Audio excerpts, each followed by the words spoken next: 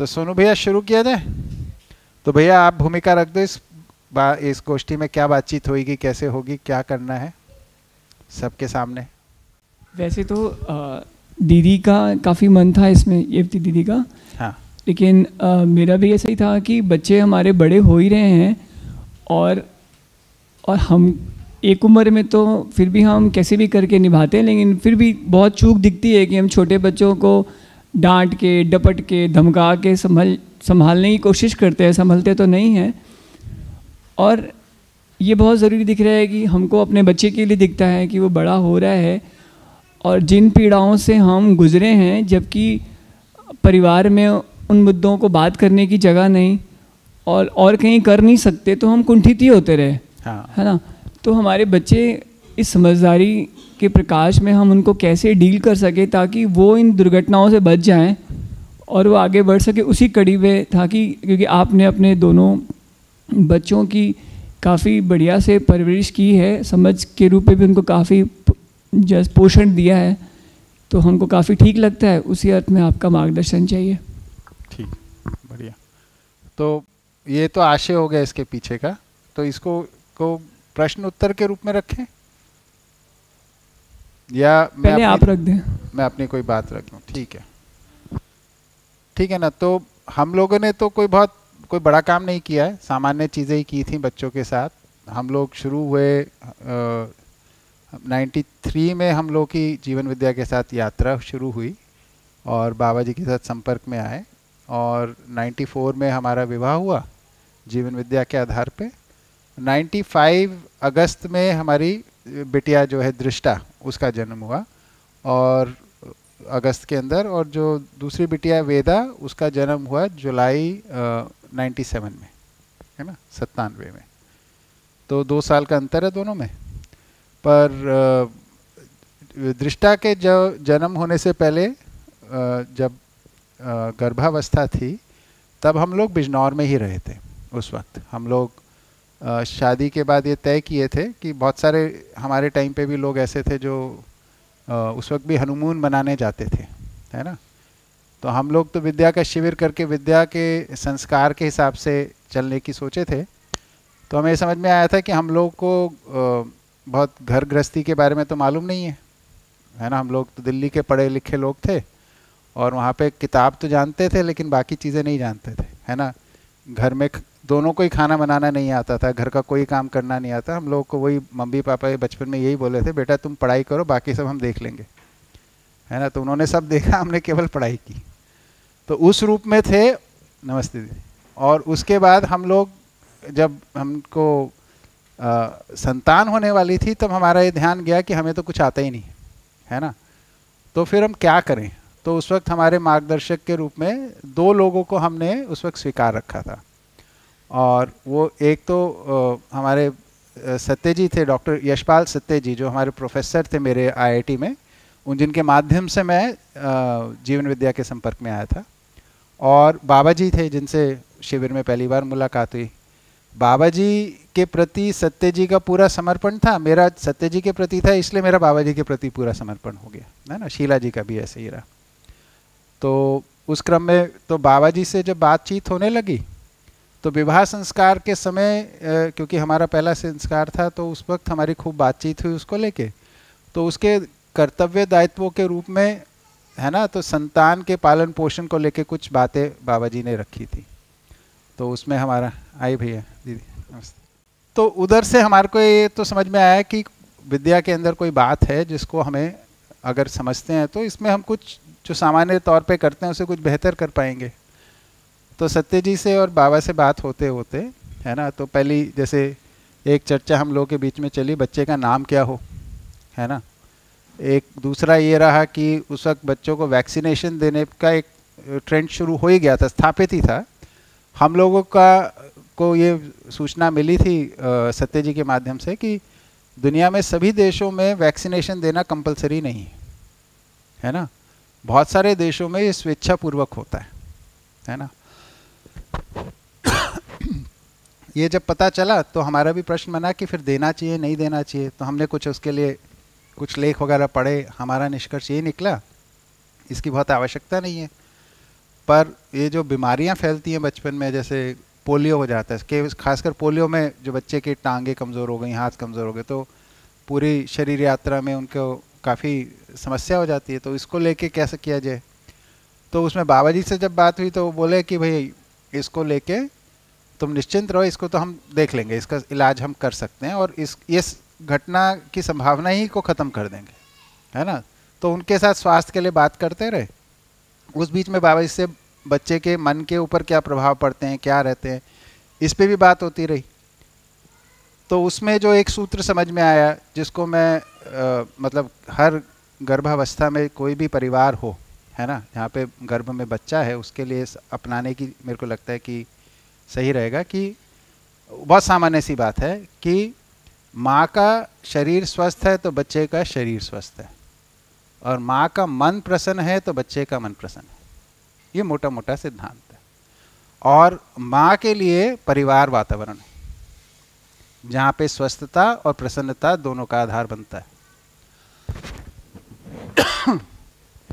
तो इतना अगर हम पहचान लेते हैं, है ना? आप लोग तो सब शिविर किए हुए, अध्ययन किए हुए लोग हो। आप लोग को समझ में आ ही जाती है बात, है ना? ठीक है ना ये बात? कि माँ का शरीर स्वस्थ तो बच्चे का शरीर स्वस्थ। और माँ का मन प्रसन्न तो बच्चे का मन प्रसन्न। इतनी सी बात है। सामान्य बात है, कोई इसमें रॉकेट साइंस नहीं।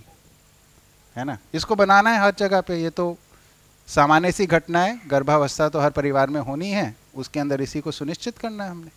है ना?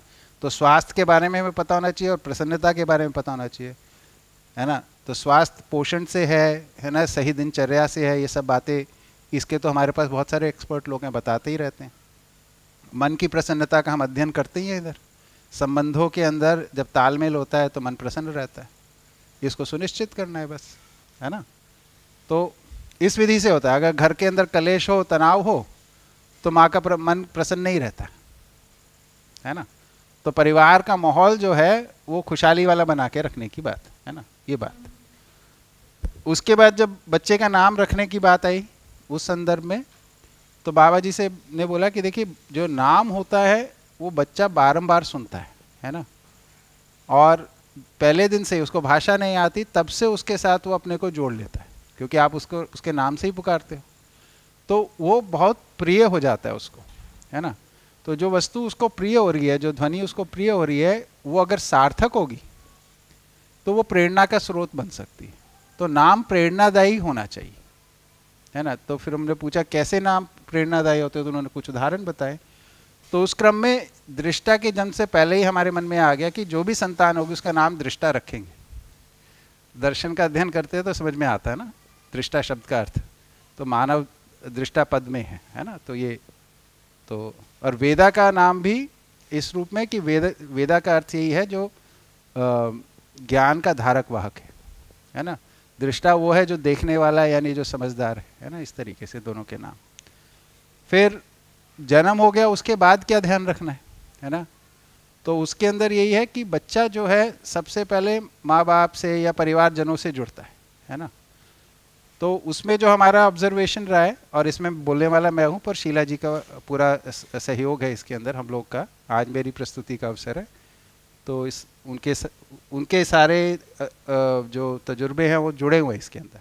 तो बच्चा जब जन्म लेता है, तब वो किसी व्यक्ति के ऊपर उसका ध्यान टिकता है। है ना? जो उसका पहला अभ्यास होता है ध्यान टिकाने का। जो मानव जो इकाई है ना, उसको ध्यान देना आता है। और ध्यान पाने की उसकी एक आवश्यकता बनती है। और पूरी शरीर यात्रा ध्यान पाने और देने की ही है, अगर आप देखेंगे तो। तो जब जन्म हो रहा है बच्चे का, जब संतान गोद में आ रही है, वो ध्यान देने के रूप में वो किसी व्यक्ति के चेहरे के प्रति, उसकी भाषा के प्रति, उसकी आवाज़ के प्रति ध्यान देना शुरू करता है। है ना? वहाँ से शुरू होता है। एक व्यक्ति से, दो व्यक्ति से, है ना? परिवारजनों से जुड़ता है वो धीरे धीरे करके। फिर उसका ध्यान भाषा में भी जाना शुरू होता, है ना? लेकिन उसके ध्यान देने की जो, टिकने की जो जगह है, वो वर्तमान में रहती है उस वक्त। जो अभी हो रहा है ना, जो सामने है, उस पर टिकेगा। ठीक है? वो नहीं है, कोई सामने है, अगर वो उसको ठीक लगता है मतलब उसके साथ उसका जो भाव बना हुआ है, और इस ध्यान देने से उसके भाव बनता है, जैसे हम बच्चे के साथ गोद में लेते हैं ना तो उसको आँखों में आँखें डालते हैं तो वो भी आपको पहचानने लगता है थोड़ी देर में। फिर आप बात करते हो तो वो मुस्कुराने लगता है है ना? तो ये जो बारंबार होता है, उससे वो आपके प्रति एक भाव उसमें स्थिर हो जाता है। तो फिर होता है कि आपको देखता है तो मुस्कुराने लगता है। ये देखा है आप लोगों ने होते हुए, बच्चों के साथ ना? तो तो ये जो चीज़ है, ये करने वाली चीज़ है बच्चों की। तो बच्चों के पास जितने अधिक लोग होंगे, परिवारजन जो भी आसपास है, उनकी गोद में आके उसको मुस्कराना आता है तो उसके यानी सबके प्रति भाव संतुलित हो गया यानी उसकी जो इंटरेक्शन वो तो कुछ नहीं कर रहा है वो तो देख के मुस्कुराएगा ही या देख के रोएगा। हम ही करते हैं जो उसके साथ करने है ना? तो सबको अगर समझ हो कि बच्चे के साथ कैसे पेश आना है है ना, उसको कैसे ध्यान देना है, उसको, उसके तीन आवश्यकताएँ होती हैं सबसे महत्वपूर्ण, उसको भूख लगती है, नींद आती है, या उसका जो मलमूत्र का कुछ मुद्दा होता है। शरीर का इतना ही है, बाकी उसका ध्यान टिकने की बात होती है, वो छोटी आयु में इतना ही है है ना? इस बीच में वो आपकी भाषा सुनता है, उसका अर्थ नहीं मालूम उसे, है ना? लेकिन उसमें आपकी जो टोन है और जो आपका भाव है, उसका उसको पता चलता रहता है। आप प्रसन्न मन से करते हैं, है ना? जैसे वो मुस्कुराता है, जब आप प्रसन्न होते हैं, तब मुस्कुराता है। आप परेशान हो, तब बच्चा नहीं मुस्कुराएगा।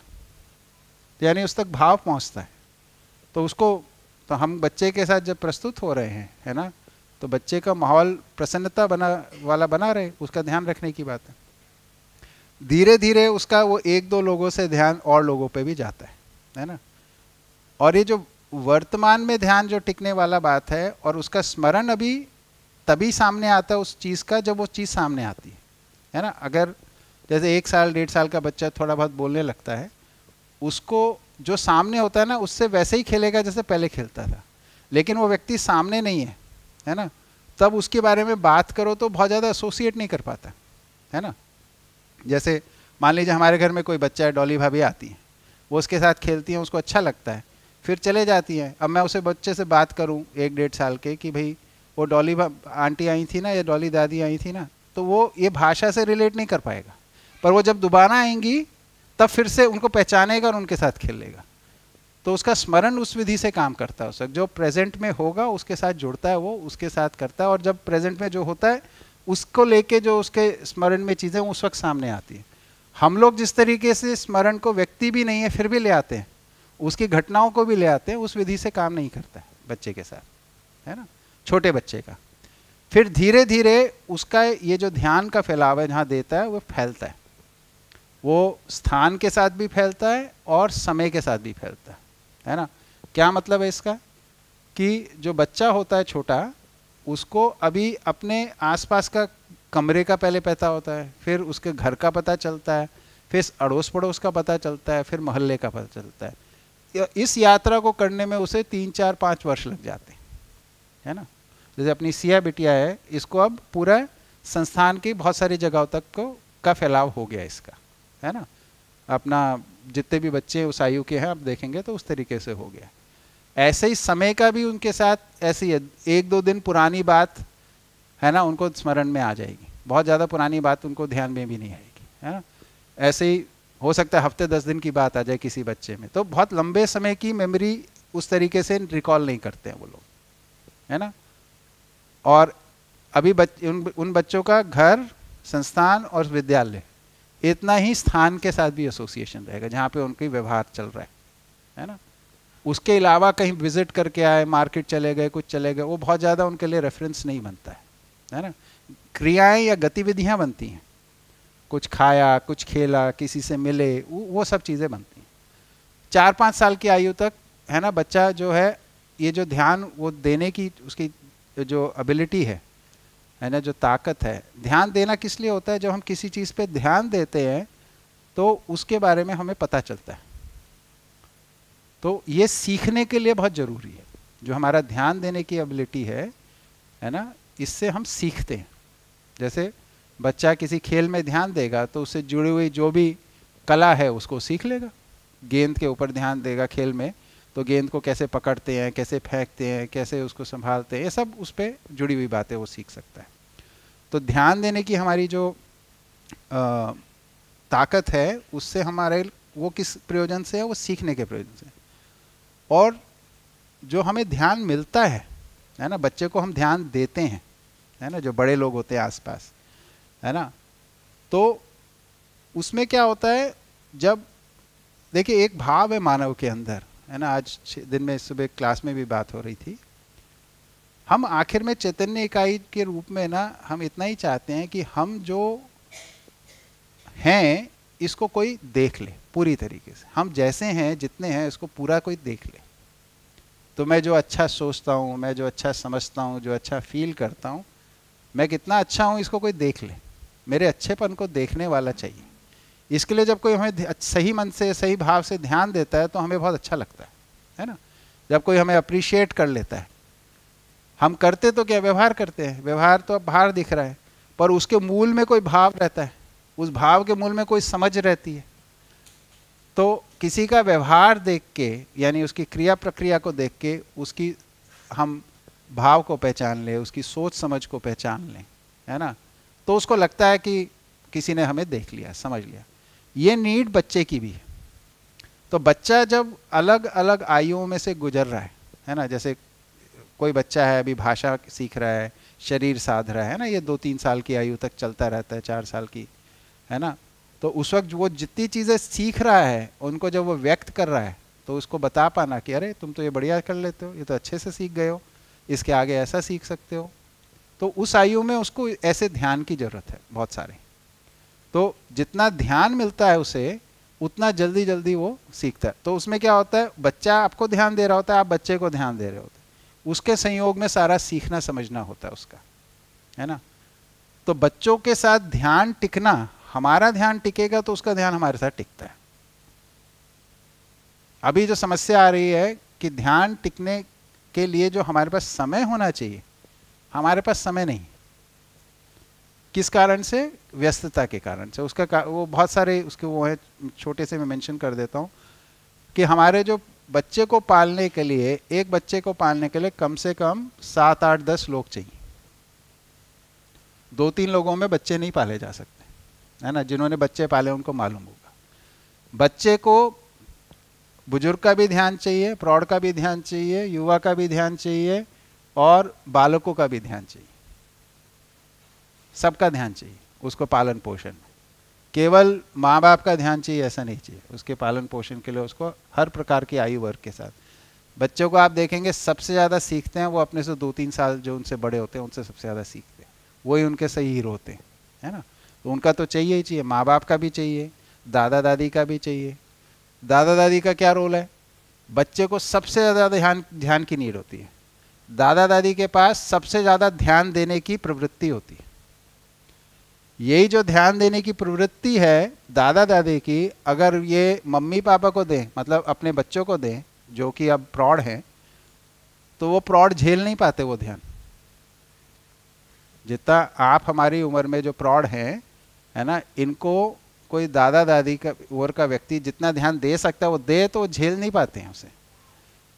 बच्चों की वो आवश्यकता है पोते पोती की तो उनको कोई बहुत ध्यान दे तो इनकी बहुत पूरकता है आपस में। तो ये पूरकता को सुनिश्चित करने के लिए समझ में आता है कि भाई दादा, दादी, नाना, नानी का बच्चों के आसपास होना बहुत ज़रूरी है। इससे कम में बच्चे का ध्यान की नीड ही नहीं पूरी होती है। है ना? शरीर की नीड तो कोई भी पूरा कर देगा। बड़े आराम से हो जाती है। बच्चे को शरीर के प्रति जागृति नहीं होती है। उसको उसको मालूम ही नहीं उसे क्या करना है। वो तो माँ बाप कराते रहते जो कराते रहते वो करता रहता है। है ना? उसकी नीड है जो, जिसको वो इनिशिएट करता है, जिसकी वो डिमांड करता है। वो उसके ध्यान की नीड है। उसको हमें पहचानने की ज़रूरत है। तो बच्चे के को ध्यान किस समय पे किस क्वालिटी का देना है, यही सारा अध्ययन है मूलतः, है ना? इसके लिए हमारे को मानव की जो आयु की अलग अलग स्थितियाँ हैं कि एक शिशु अवस्था है, फिर बाल्य अवस्था है है ना? फिर उसका किशोर अवस्था है, फिर युवा अवस्था है इस तरीके से अलग अलग स्थितियों में बच्चे का जो विकास हो रहा है है ना? उसको पहचानने की बात है। फिर बच्चे का एक आयु के बाद चार पाँच साल की आयु में आके उसकी एक अपनी ना सेल्फ इमेज या उसकी अपनी खुद की एक छवि बनती है उसके अंदर। और उस छवि को लेके वो चाहता है कि उसकी पहचान बने। है ना?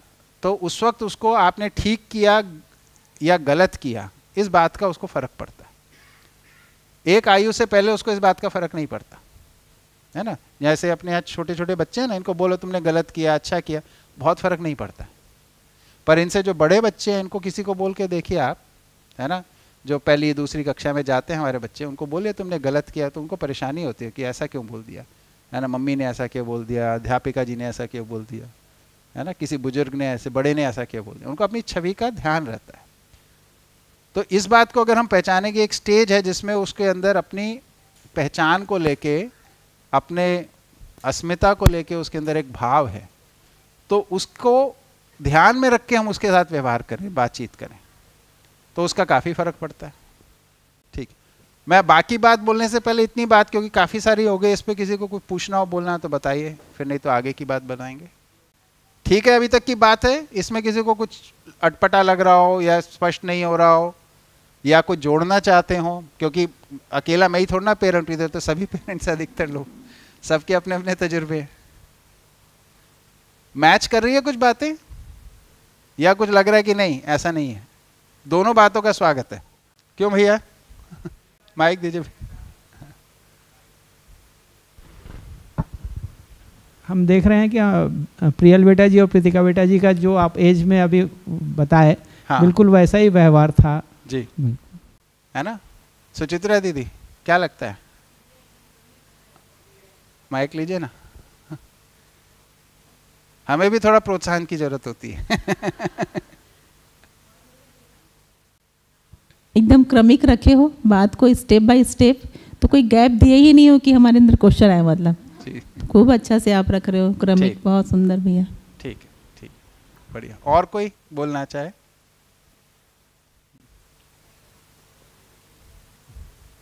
आकाश भैया कुछ तो बताओ। क्या आप, आपकी आ, आपको मैं कीन ऑब्जर्वर मानता हूँ।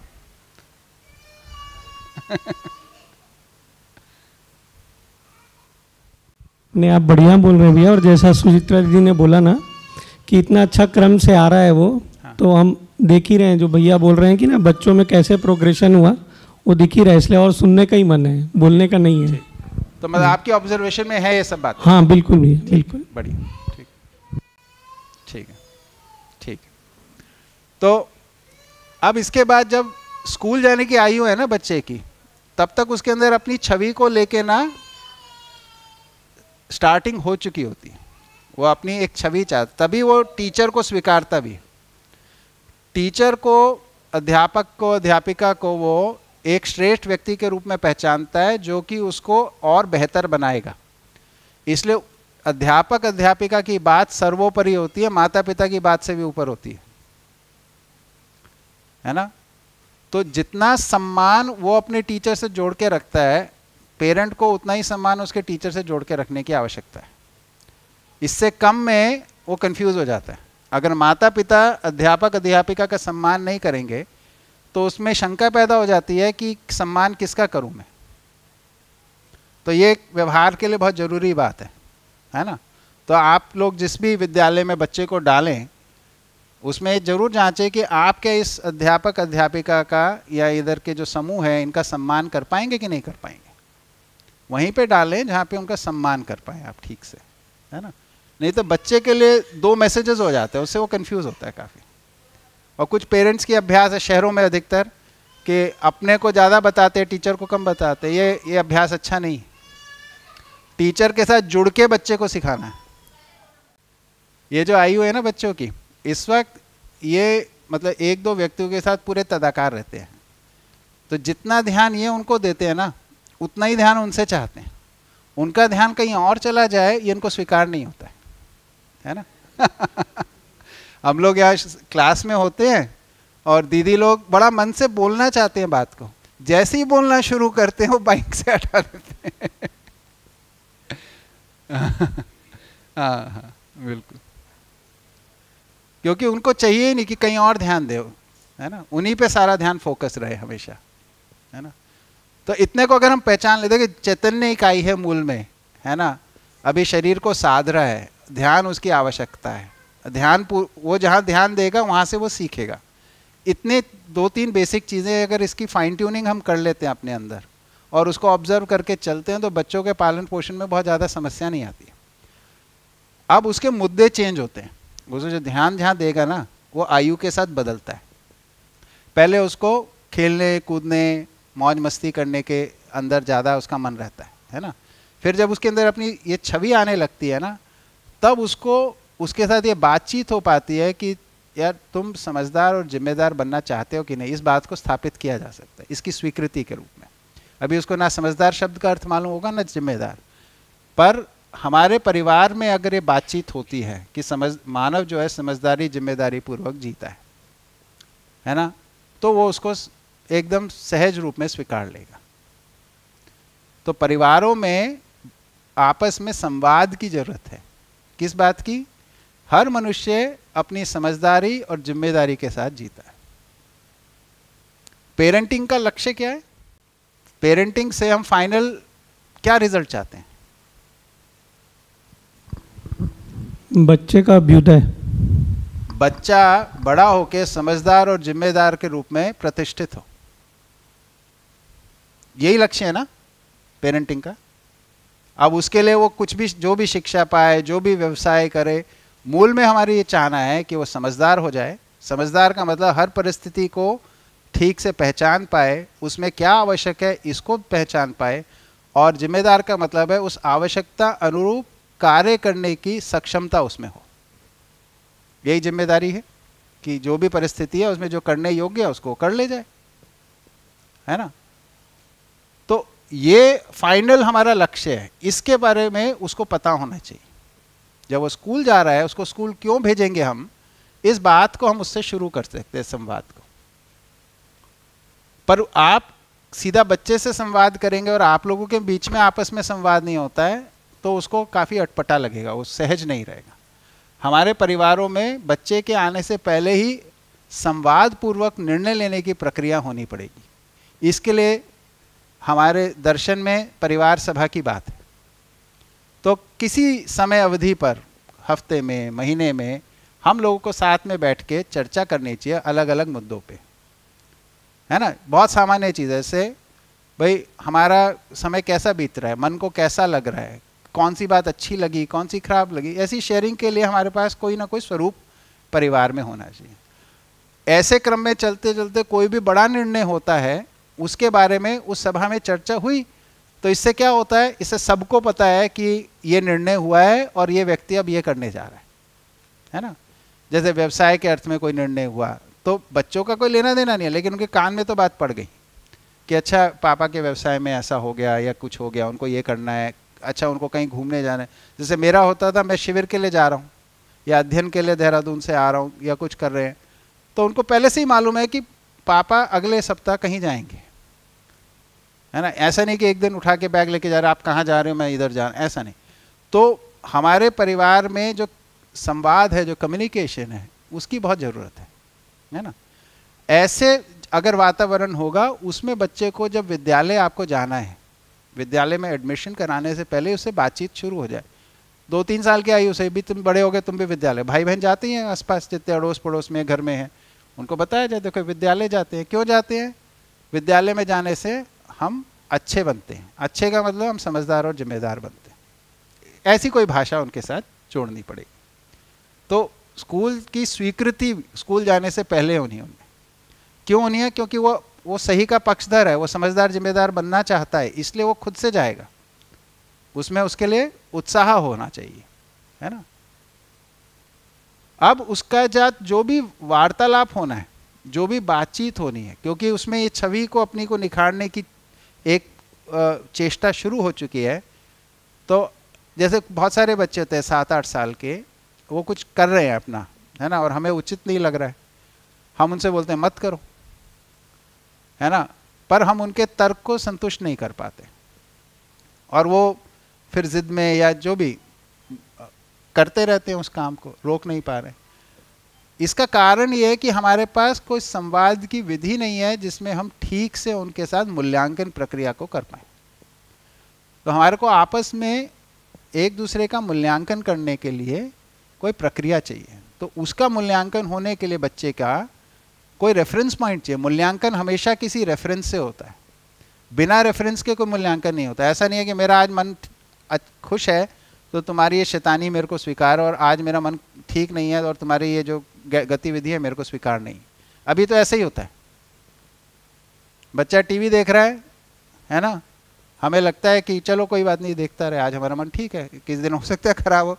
क्या तुम हमेशा टीवी देखते रहते हो? चलो इधर से, पढ़ाई करो। हमारे साथ ऐसा हम जब बचपन में थे, है ना? तो ये जो हमारे मूड के साथ ये चेंज होने वाली चीज़ नहीं मूल्यांकन स्थिरता के आधार पे होता है और उसकी कोई रेफरेंस चाहिए।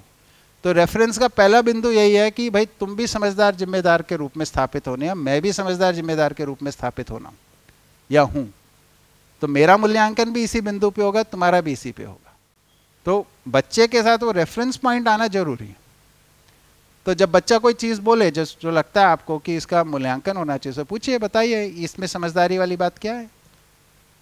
इसमें ज़िम्मेदारी मेरे को समझ में नहीं आ रही। आप बता सकते हो? ये छः, सात सात, आठ साल के बच्चों के साथ इस तरीके की बातचीत हो सकती है। है ना? लेकिन ये पहले दिन से आप बोलोगे और वो सब सही से जवाब देने लगेगा, ऐसा नहीं। ये सब अभ्यास हैं। है ना? ये अभ्यास करने पड़ते हैं। हमारे को अपनी अपने को उस मोड में लाना पड़ता है, तब जाके बच्चा उसको स्वीकारता। क्योंकि सात आठ साल का बच्चा आपके ऊपर प्रश्न लगाएगा ही। उसके अंदर अनुसरण प्रक्रिया शुरू हो चुकी है। उससे पहले आपके आज्ञा पालन में वो चलता था, वो बिना क्वेश्चन करके चलता था। अब वो आपकी आज्ञा पालन में उसको जाँच के परख के चलेगा। है ना? तो जो आज्ञा पालन की स्थिति, तीन शिक्षा के तीन भाग बताए ना बाबा जी ने? है ना? एक तो आज्ञा पालन है, दूसरा अनुशासन है, तीसरा स्वनुशासन है। तो जो आज्ञा पालन होता है, उसके अंदर पहले अनुकरण प्रधान रहता है। है ना?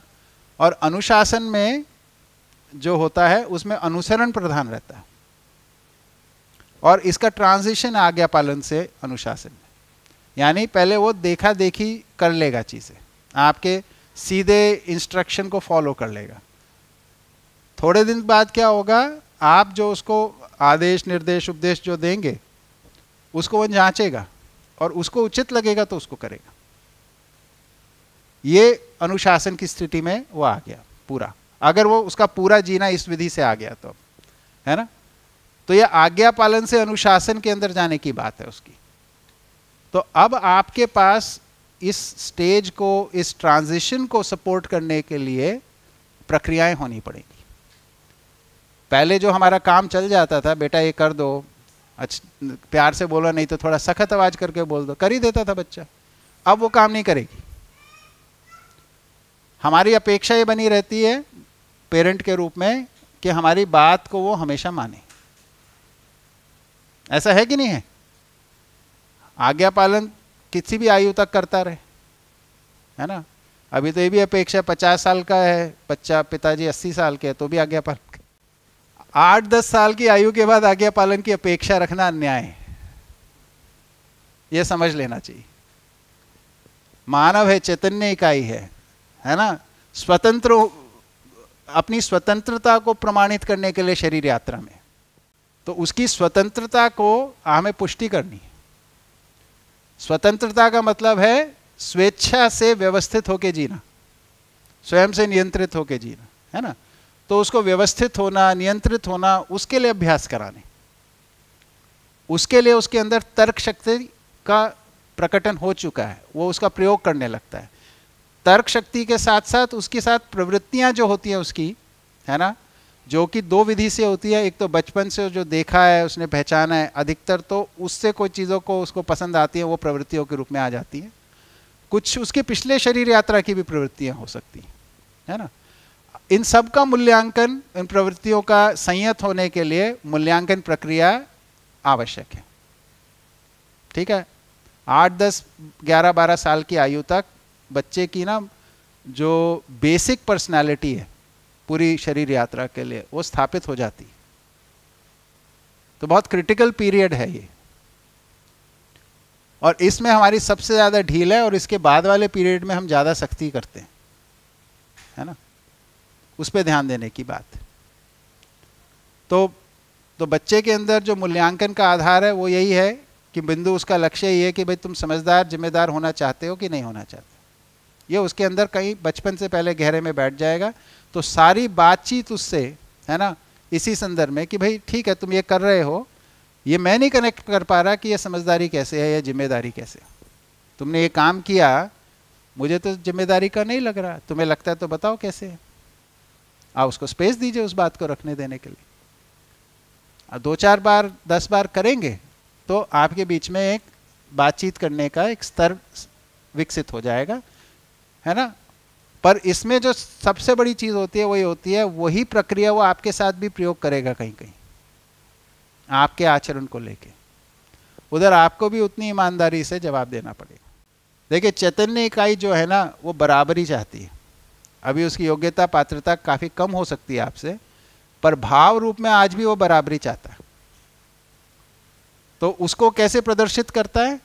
वो आप पे सवाल लगाता है। फेस किया आप लोगों ने क्वेश्चंस अपने बच्चों से? करते ही रहते हैं ना? कितना भी छोटा हो, कभी ना कभी लगा ही देता है प्रश्न। अब उसको हम कब तक बोल देंगे कि हम बड़े हमें तुमसे ज़्यादा पता है? है ना? हमें उसका उत्तर देना पड़ेगा समझदारी और ज़िम्मेदारी से जोड़ के जितना दे पाएँगे उतना उसका संस्कार रोपण होगा। ये मूल मुद्दा है उसके अंदर। अब उसके मुद्दे चेंज होते हैं। पहले उसके घर में किसका ध्यान चाहिए क्या गतिविधि करनी है फिर उसके दोस्त बनते हैं दोस्तों के साथ समय बिताना है ये ज़्यादा बड़ा मुद्दा हो जाता है उनके लिए। खेल कूद बहुत बड़ा मुद्दा हो जाता है। फिर उसके बाद उनका आ, जो उनके सीखने समझने के जो चीज़ें शुरू होती है, विद्यालय में आके जब तीसरी, चौथी में आ जाते हैं, तब उनके पास मतलब क्या सीखना चाहते हैं, क्या, कहाँ पे मन लगाना चाहते हैं, ये सब बहुत सारे मुद्दे आने लगते हैं। कभी कहानी की किताब चाहिए उनको, कभी उनको खेल कूद में ही जाए, कोई एक्टिविटी में, म्यूज़िक में, इन सब में, डांस में, किसी एक्टिविटी में, वो कोई ना कोई हॉबी को पकड़ना चाहेंगे। है ना? ये दस साल की आयु के आसपास शुरू होने लगता है है ना? तो ऐसी किसी गतिविधि में उनका मन लगता हो तो उनको सिखाने में, सीखने में बहुत अच्छा रहेगा। इन सब गतिविधियों में मन साधने का भी काम होता है है ना? लेकिन मन साधने के लिए ये जो संवाद है, ये साथ में बना रहना बहुत ज़रूरी है। केवल एक्टिविटी से पूरा मन नहीं सदता है, पर उससे अटेंशन स्पैन ज़रूर बढ़ते हैं। आज की डेट में ये सारी एक्टिविटीज़ बहुत कम होने से ले दे के हमारे पास इलेक्ट्रॉनिक इक्विपमेंट रह गए हैं, जिसकी वजह से अटेंशन स्पैन बहुत छोटे होते जा रहे हैं। बच्चे का ध्यान ही नहीं टिकता किसी चीज़ पे। थोड़ी देर में भागता इधर से इधर इधर इधर से इधर, ऐसे ऐसे। आप लोगों के घरों में जो बच्चे हैं, उनमें कुछ में देखने को मिलता होगा, जहाँ पे इलेक्ट्रॉनिक चीज़ों का ज़्यादा प्रयोग हो रहा है। इसके, और इसके बाद जो एक मेजर मुद्दा आता है, वो यही आता है कि जो उनके फ्रेंड्स के साथ जो उनके रिलेशनशिप है धीरे धीरे शरीर के प्रभाव के अंदर आके ये लड़के लड़की के प्रति जो आकर्षण है, ये वाले मुद्दे भी आते हैं, है ना? तो इन सब मुद्दों को आयु के से पहले, देखिए, कोई भी चीज़ है, समझदारी का मतलब होता है योजनाबद्ध विधि से जीने का नाम। है ना? जब आग लगेगी घर को, तब कुआँ खोदेंगे, ये बेवकूफ़ी है। आग लग सकती है, इसलिए पानी का इंतज़ाम पहले से करेंगे, आग बुझाने का इंतज़ार पहले से रखेंगे, इसको समझदारी कहते हैं।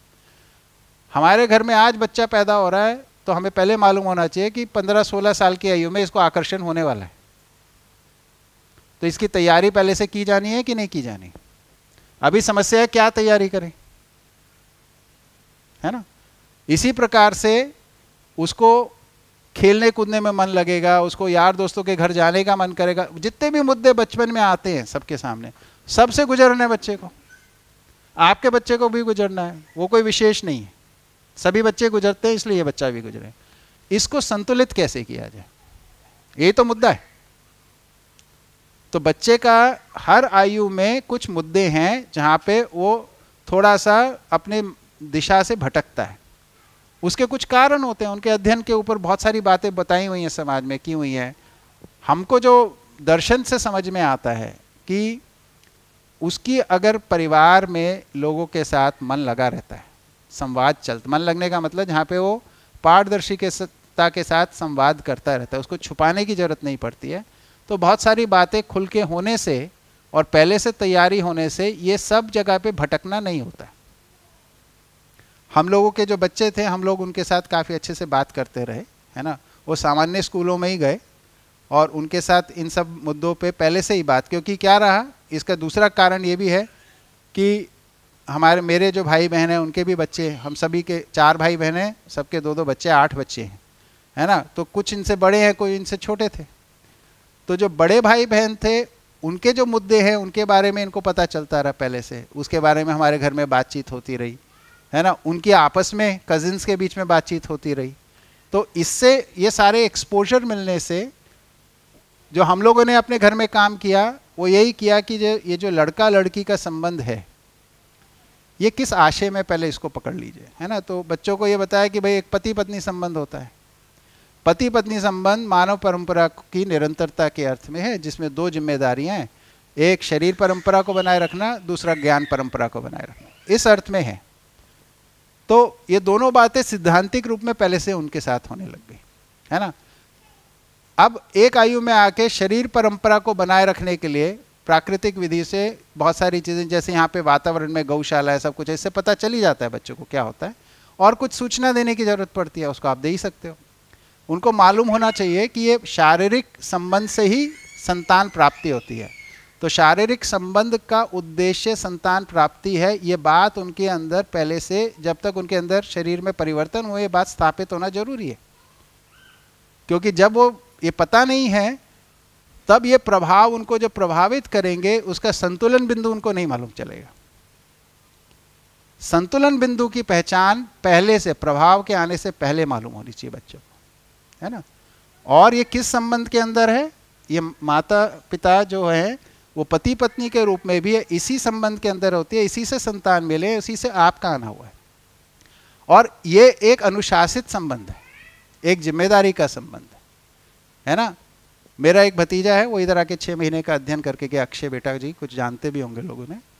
तो एक टाइम पे उससे बात हो रही थी तो बोल रहा था कि किसी व्यक्ति, उसकी कोई फ्रेंड थी, उसके प्रति उसको लग रहा था कि मैं, हम लोग अब गर्लफ्रेंड बॉयफ्रेंड हो गए हैं तो उसका मतलब क्या पूछा उससे? तो बोला कि अब हम केवल एक दूसरे के प्रति समर्पित हैं। तो बोले, इसका मतलब क्या है? इसका क्रियान्वयन कैसे होगा? उससे बहुत सारी विद्या के संदर्भ में, जीवन, शरीर, है ना, संबंधों के संदर्भ में पहले से भूमिका बनी हुई है। उस भूमिका के बेसिस पे बात हो रही। तो उसने बोला, नहीं, हम केवल एक दूसरे को ध्यान देंगे। तो मैंने बोला, इसका मतलब तुम दूसरे अपने जो मित्र हैं, उनको ध्यान नहीं दोगे क्या? तो बोले, नहीं, ऐसा तो नहीं है। तो मैंने बोला, फिर क्या मतलब है एक दूसरे को समर्पित हो गए? तो जो भी वो उत्तर देता था, मैं उससे पूछता था कि आप ये दूसरे मित्रों के साथ नहीं करोगे क्या? तो वो बोलता था, नहीं हाँ करेंगे। तो फिर ले दे के फिर यही बचा कि तो इसमें जो एक बात आती है, गर्लफ्रेंड, बॉयफ्रेंड अगर इसमें कोई शारीरिक संबंध की बात नहीं है तो ये तो एक सामान्य मित्र संबंध के रूप में ही है। इतनी सी तो बात है।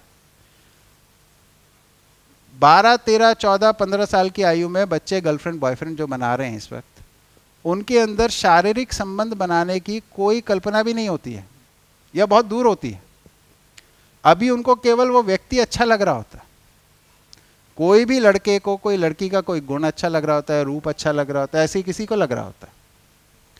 किसी का कोई गुण अच्छा लगना अपने में अच्छी बात है। मित्रों के रूप भी अच्छा लगना चाहिए, गुण भी अच्छे लगने चाहिए।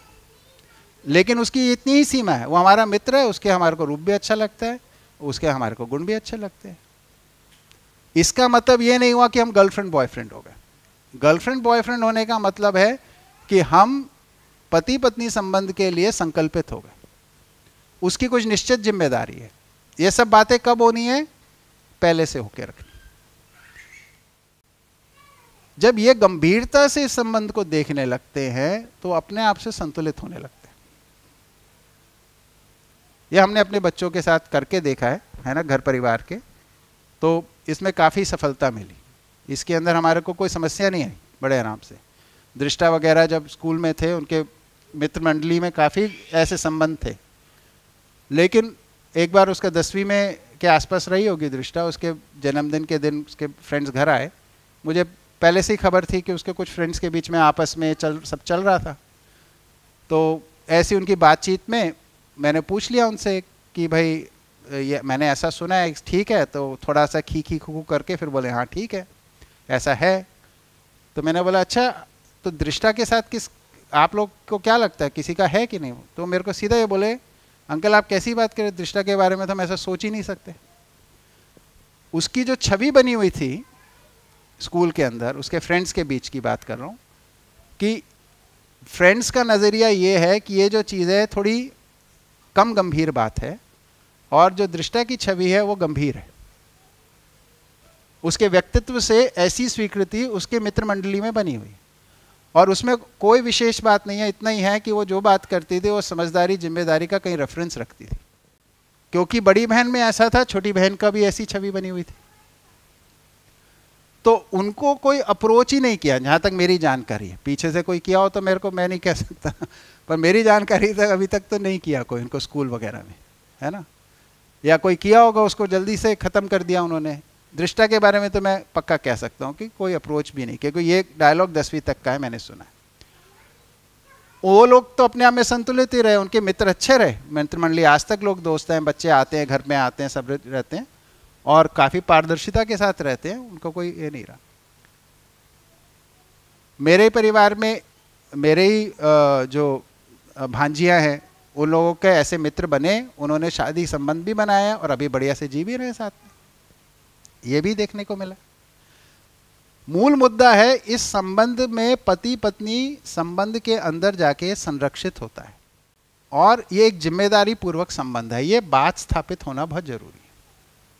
इससे कम में, है ना, इसको हम हटा नहीं सकते अपने वातावरण में से इस वक्त।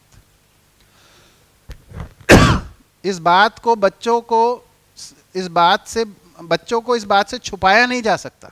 हम सोचें कि बच्चों को ये बात का पता ही ना चले। क्या ऐसा संभव है? आज की डेट में 14, 15, 16 साल के बच्चों को ये सब मुद्दे पता होंगे कि नहीं पता होंगे? उनकी इसमें जिज्ञासा या कौतूहल होगा कि नहीं होगा? इसको अवॉइड किया जा सकता है क्या? तो अवॉइड नहीं किया जा सकता तो क्या विधि होगी? इसको एड्रेस करना पड़ेगा यानी इसको हमारे को ज़िम्मेदारी पूर्वक इसका समाधान प्रस्तुत करना पड़ेगा। और उसके लिए तैयारी पहले से। आठ दस साल की आयु से, है ना, बच्चों को जब शुरू हो जाता है ना, एक दूसरे के प्रति स्वीकृति, छोटे बच्चों में भी होता है। मेरे को ना, ये अध्यापिका जी बहुत अच्छी लगती है। मेरे को ये भैया बहुत अच्छे लगते हैं। ऐसा शुरू हो जाता है।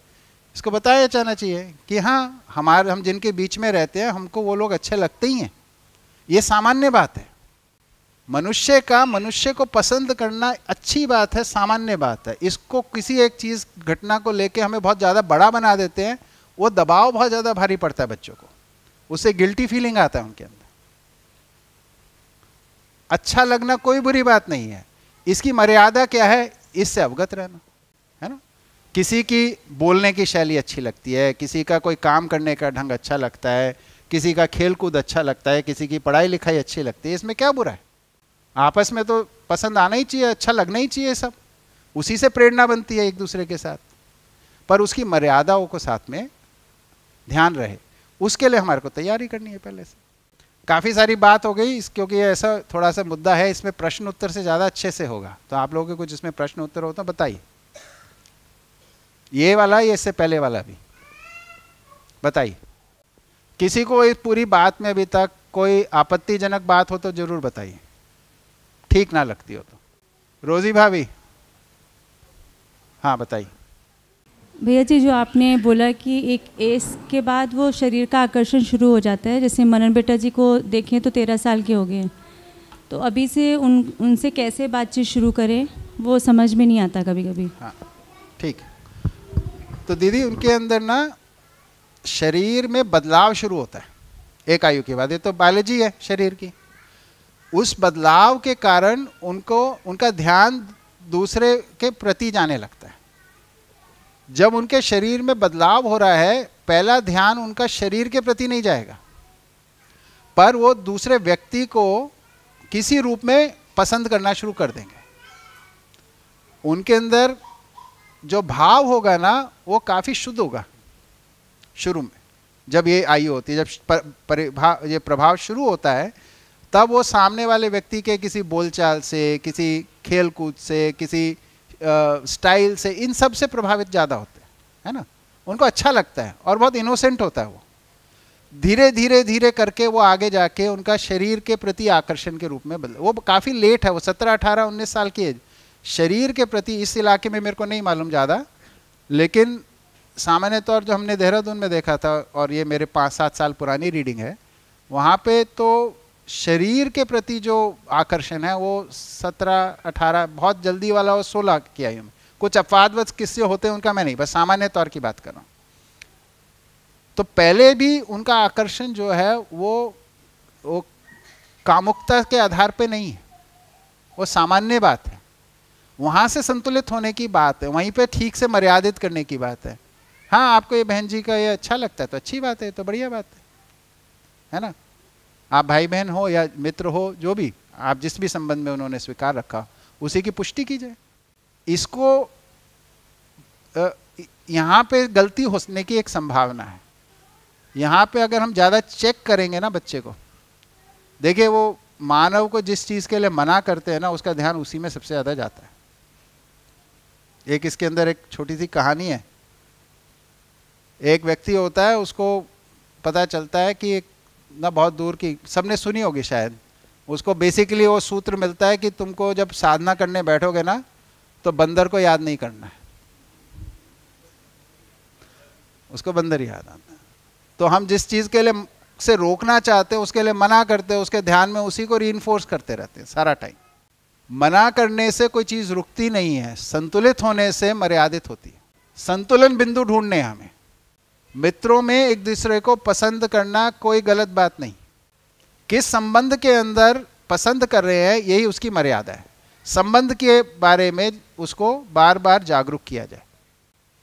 बच्चे आपके साथ संवाद खुल के कर पाए, ऐसी उनको परस्परता मिले। जो मन में चल रहा है, वो आपके साथ शेयर कर पाए। अगर आप ज़्यादा रोक टोक वाले हैं तो आपके साथ शेयर नहीं करेगा। रोक टोक हम किस लिए करते हैं? ताकि वो संतुलित हो जाए। रोक टोक से कोई संतुलित होता है? हम शिविरों में पढ़ाते हैं कि मानव गलती से गलती, अपराध से अपराध और युद्ध से युद्ध नहीं रुकता। है रोक टोक से कोई नहीं रुकेगा। उसके लिए उसको आप समझदार हो, जिम्मेदार हो। या आप समझदार बनना चाहते हो, जिम्मेदार बनना चाहते हो। इसकी स्वीकृति होना चार पाँच साल की आयु से शुरू करा दीजिए। अब या जितनी आयु में आज है उससे। अपने अभिभावक विद्यालय में तो बच्चों के अंदर ये स्वीकृति अगर देखें तो अधिकतम में मिलती है। है ना? चाहे इस भाषा के रूप में ना हो, पर ये भाव रूप में तो मिलती है। क्यों दीदी? है ना? इसमें उनको, इसी के इस रेफरेंस में बात की जाए। पर इसके अंदर जो मुड़ के वो आपसे पूछेगा जब, ये आप ये समझदारी कैसे कर रहे हो या ज़िम्मेदारी, इसको ईमानदारी से उत्तरित नहीं करोगे तो वो स्थापित नहीं होगा। वो प्रक्रिया। उसकी जो परीक्षण की नज़र है है ना, उसका सम्मान होना पड़ेगा। आप उसके परीक्षण से बच नहीं सकते। पेरेंटिंग का सबसे बड़ा जो टेस्ट है ना, वो यही है। जो बच्चा आपका परीक्षण कर रहा है, आप उसको अवॉइड करते हो या उसमें सम्मान पूर्वक उसको निभाते हो। वो महत्वपूर्ण मुद्दा है। और इस, ये बड़े आराम से निभ सकता है। एक छोटी सी बात हमें स्वीकारनी, और हम स्वीकार ही रहते हैं अंदर, कि हाँ भाई हम पूरे नहीं हैं। हम पूरे नहीं हैं तो हमसे कम कम ज़्यादा तो होता ही है ना। तो जब कम होता है तो स्वीकार लिया जाए, कमी हो गई। क्या परेशानी? बच्चे के सामने भी स्वीकार लिया जाए। इससे अपने अंदर ही आराम आता है। पर बात यहाँ पे रुकती नहीं है। मुझसे गलती हो जाती है, मैं स्वीकार लेता हूँ, लेकिन मैं सुधरना चाहता हूँ।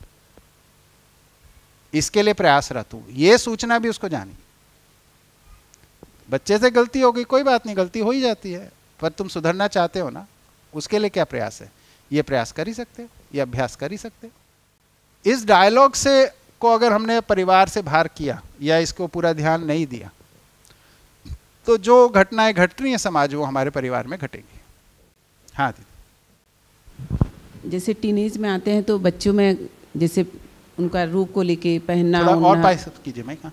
बच्चों का रूप को लेके थोड़ा दिखने लग जाता है पहनना ओढ़ना तैयार होना। हाँ। तो इस तरह का चीज़ें आती है। हाँ। तो उसको हमको कैसे टैकल करना चाहिए? और दूसरा खास करके लड़कियों में आता है ये चीज़। जी। और देखा देखी ही करते हैं ज़्यादा करके मेरे को ऐसा दिखता है वो। जी। और दूसरा उस समय लड़का लड़की का वो मर्यादा उनको कैसे करके एक तो संवाद पूर्वक हुआ लेकिन हाँ। करने के रूप में भी तो कुछ करना ही होगा हमको। वो लोग साथ साथ मतलब कितना साथ साथ रहते ही हैं आजकल। हाँ। उनका खेलना बैठना मतलब कैसे हमको किस तरह से उसको करें मतलब करने के रूप में। एक तो संवाद के रूप में समझ में आ रहा है लेकिन वो तो एक प्रोसेस है समय लगेगा। जी। तो उस बीच में करने वाला भाग को कैसे करें अपन? ठीक है दीदी। इस बात को उत्तरित करने से पहले एक बात को मैं पहले फिर से ध्यान दिलाना चाहूँगा कि जैसे हम पूरे नहीं हैं वैसे वो भी पूरे नहीं जैसे हमसे गलती होती है उनसे भी गलतियाँ होंगी। इस बात को स्वीकार के चला जाए। बच्चा गलती करेगा कि नहीं करेगा? हर आयु में करेगा कि नहीं करेगा? करेगा ना? वो उतनी ही बड़ी गलती है जैसे वो बचपन में करता था। उसको उतने स्वरूप में ही देखा जाए। उसको बहुत ज़्यादा लंबा चौड़ा ना किया जाए, है ना? इसको सुनने के बाद फिर अब बात हो सकती ठीक? तो बच्चे जो हैं, उसी चीज़ में अपना मन लगाते हैं जिसको वो श्रेष्ठ मानते हैं। जब उनका आचरण हम देख रहे हैं कि वो एक तरफ़ जा रहा है तो उनके अंदर जो वैल्यू सिस्टम डेवलप हुआ है, उसमें इसको कुछ महत्व दे रहे हैं वो। तो यानी इसकी समीक्षा कुछ होने की आवश्यकता है। समीक्षाएँ कभी भी कोई जिस घटना में जिस वक्त इन्वॉल्व है उस वस्तु के साथ, उस वक्त नहीं करनी चाहिए, क्योंकि उस वक्त वो स्वीकारेगा नहीं। बच्चे को कहीं बाहर जाना है दोस्तों के साथ पिक्चर देखने जाना है, आप उस वक्त पिक्चर देखने की समीक्षा करेंगे तो आपको सुनने वाला नहीं ये बात अलग से होनी है, पहले से होनी है है ना? ये, अब ये मतलब ये कोई पॉइंटेड प्रोग्राम भी नहीं हो सकता है। हमने देख लिया कि बच्चा अच्छा हमारा पिक्चर देखने गया था। तो आप वेट करेंगे, एक महीने बाद फिर उस बात को छेड़ेंगे। ये स्ट्रैटेजिक भी नहीं है। तो इसका इलाज समाधान क्या करने वाले पक्ष का? नियमित संवाद परिवार। हम जो भी कर रहे हैं, जहाँ भी हमारा मन लग रहा है, आपका, भैया का, बच्चों का, इसकी शेयरिंग की जगह कहाँ है? वो संवाद की हमारे को परिवार में ज़रूरत है। हमें जो अच्छा लगा, हमने जो सही किया, हमें जो खराब लगा, जो हमसे गलती हुई, सबकी शेयरिंग की जगह ये जो खुल के बात होने की जगह है ना, वहाँ से वैल्यू सिस्टम डेवलप होते हैं, है ना? इसमें बनावटी पर नहीं हो सकता है, बिल्कुल भी। है ना? इसके अंदर हम बच्चों को शिक्षा देने के लिए कुछ बातें बोलें, ये भी नहीं चलता। इसमें हमें ईमानदारी से मतलब सहज होकर बात करनी। इसलिए परिवार सभा की भूमिका है। हम जो जो भी लोग मिलके साथ रह रहे हैं, सब बातचीत करें, किस हफ़्ता में, दिन में, जो भी आपको फ्रीक्वेंसी ठीक लगती है। हमारा ऐसा रहा। वो प्रक्रिया को स्थापित होने में कुछ आइट्रेशंस लगेंगे।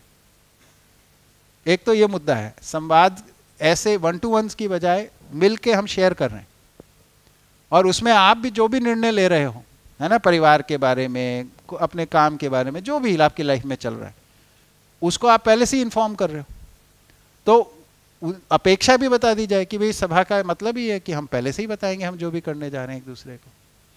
तो उनका भी धीरे धीरे अभ्यास बन जाएगा शेयर करने का। है ना? तो उससे काफ़ी आराम मिलता है।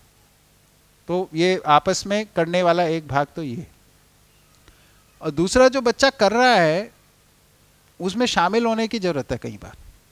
तो हमने तो यही किया कि बच्चों को जब फ्रेंड्स अच्छे लगते थे तो फ्रेंड्स को घर बुला लो यार अपने।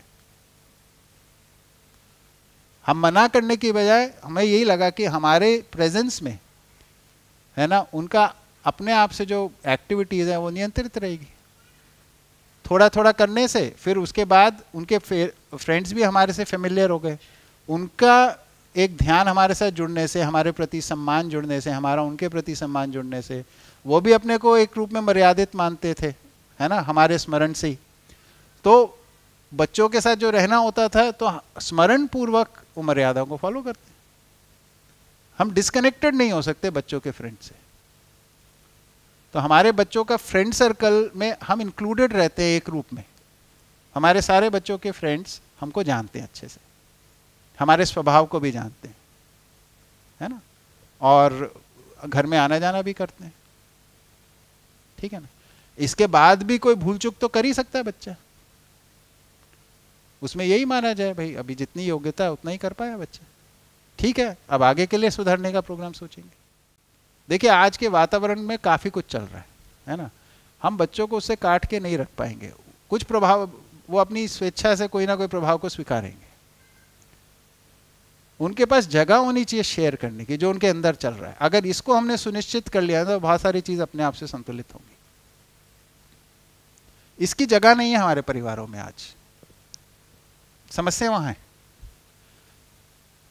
बातचीत जो होती है, मौज मस्ती की, खाने पीने की, घूमने फिरने की ज़्यादा होती है। इसको हम बातचीत मानते हैं।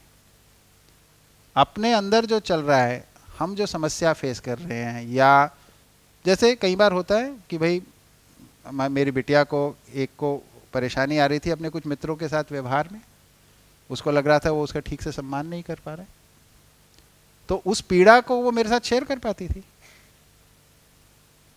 मतलब उसके अंदर जो चल रहा है, देखिए क्या बात है फीलिंग जो होती है हमारी, वो सबसे इंटीमेट सबसे आत्मीय चीज़ है। उसको आप दूसरे को खोल के दिखा रहे और माता पिता को दिखा रहे हो तो सुरक्षित महसूस करोगे, तभी तो दिखाओगे ना वहाँ पे। तो माता पिता के साथ बच्चों को सुरक्षित महसूस होना, यही संरक्षण का भाव है।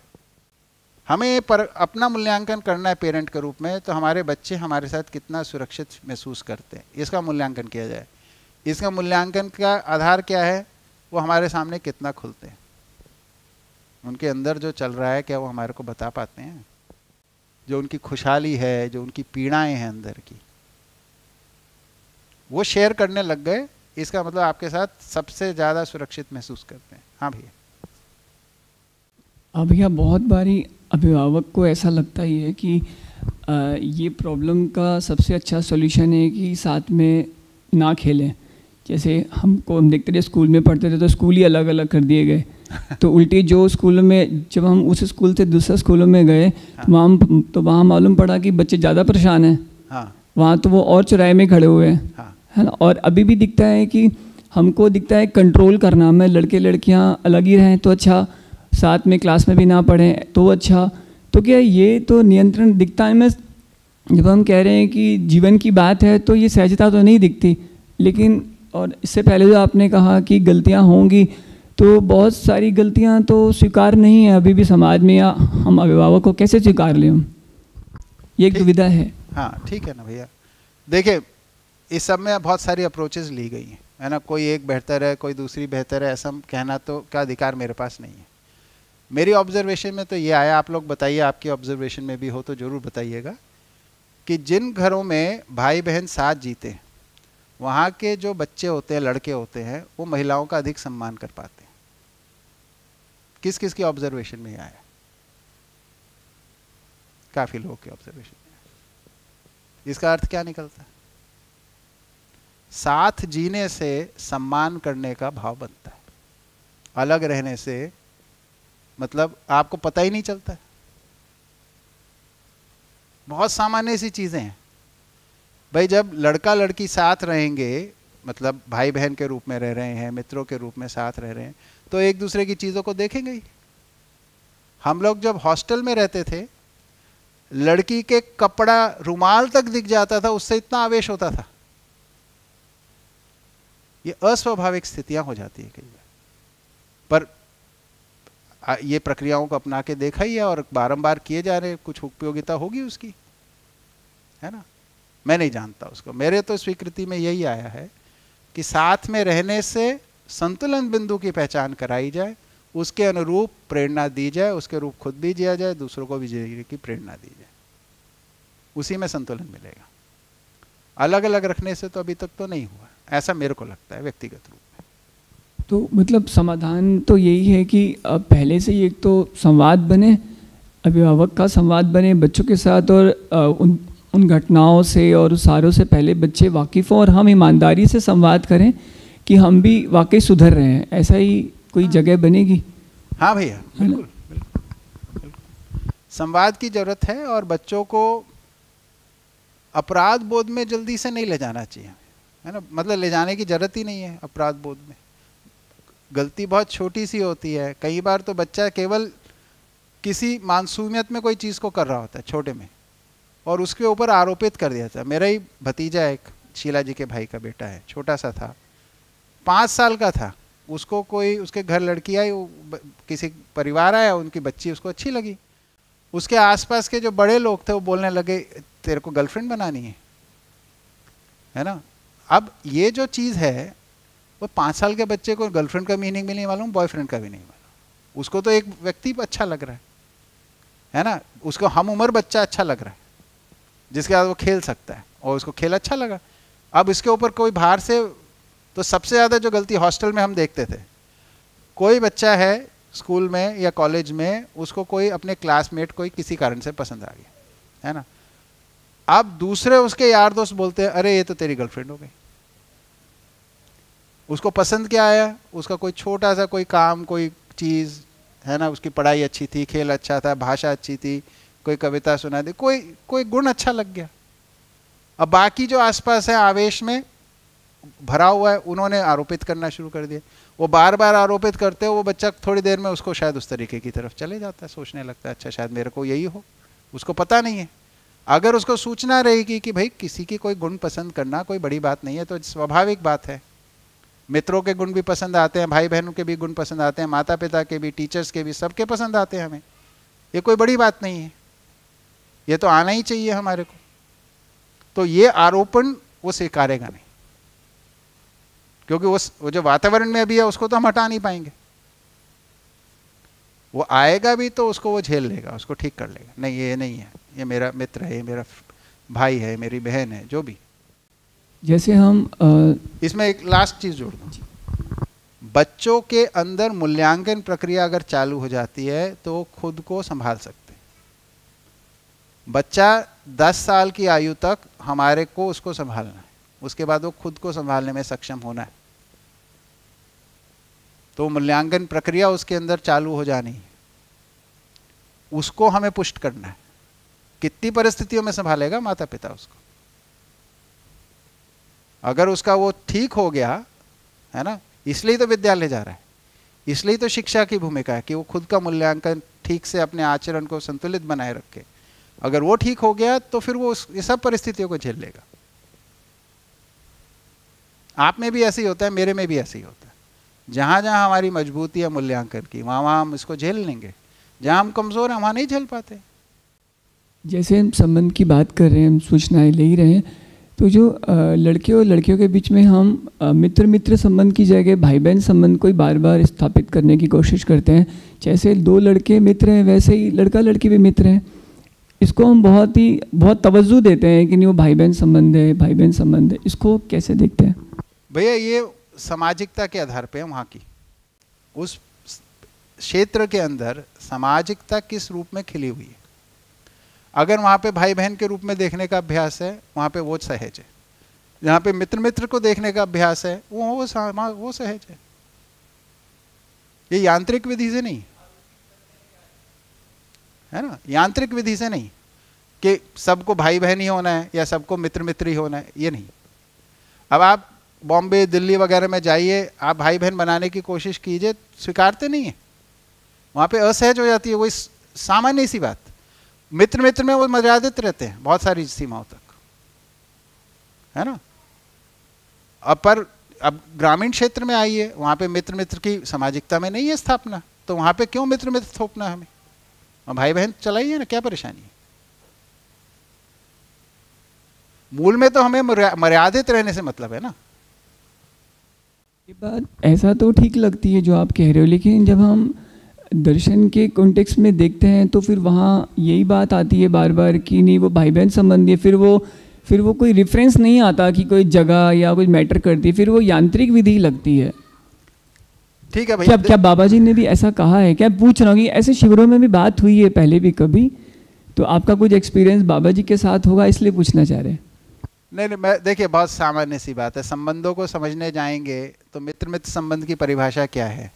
और भाई बहन संबंध की परिभाषा क्या है? इसमें जाना पड़ेगा बहुत मोटी बात अगर बोले भाई बहन जो होते हैं, एक परिवार की ज़िम्मेदारी के अंदर रहता है। एक परिवार के संरक्षण में होते हैं, उसको उसकी उन्नति प्रगति के लिए वो ज़िम्मेदारी लेते हैं।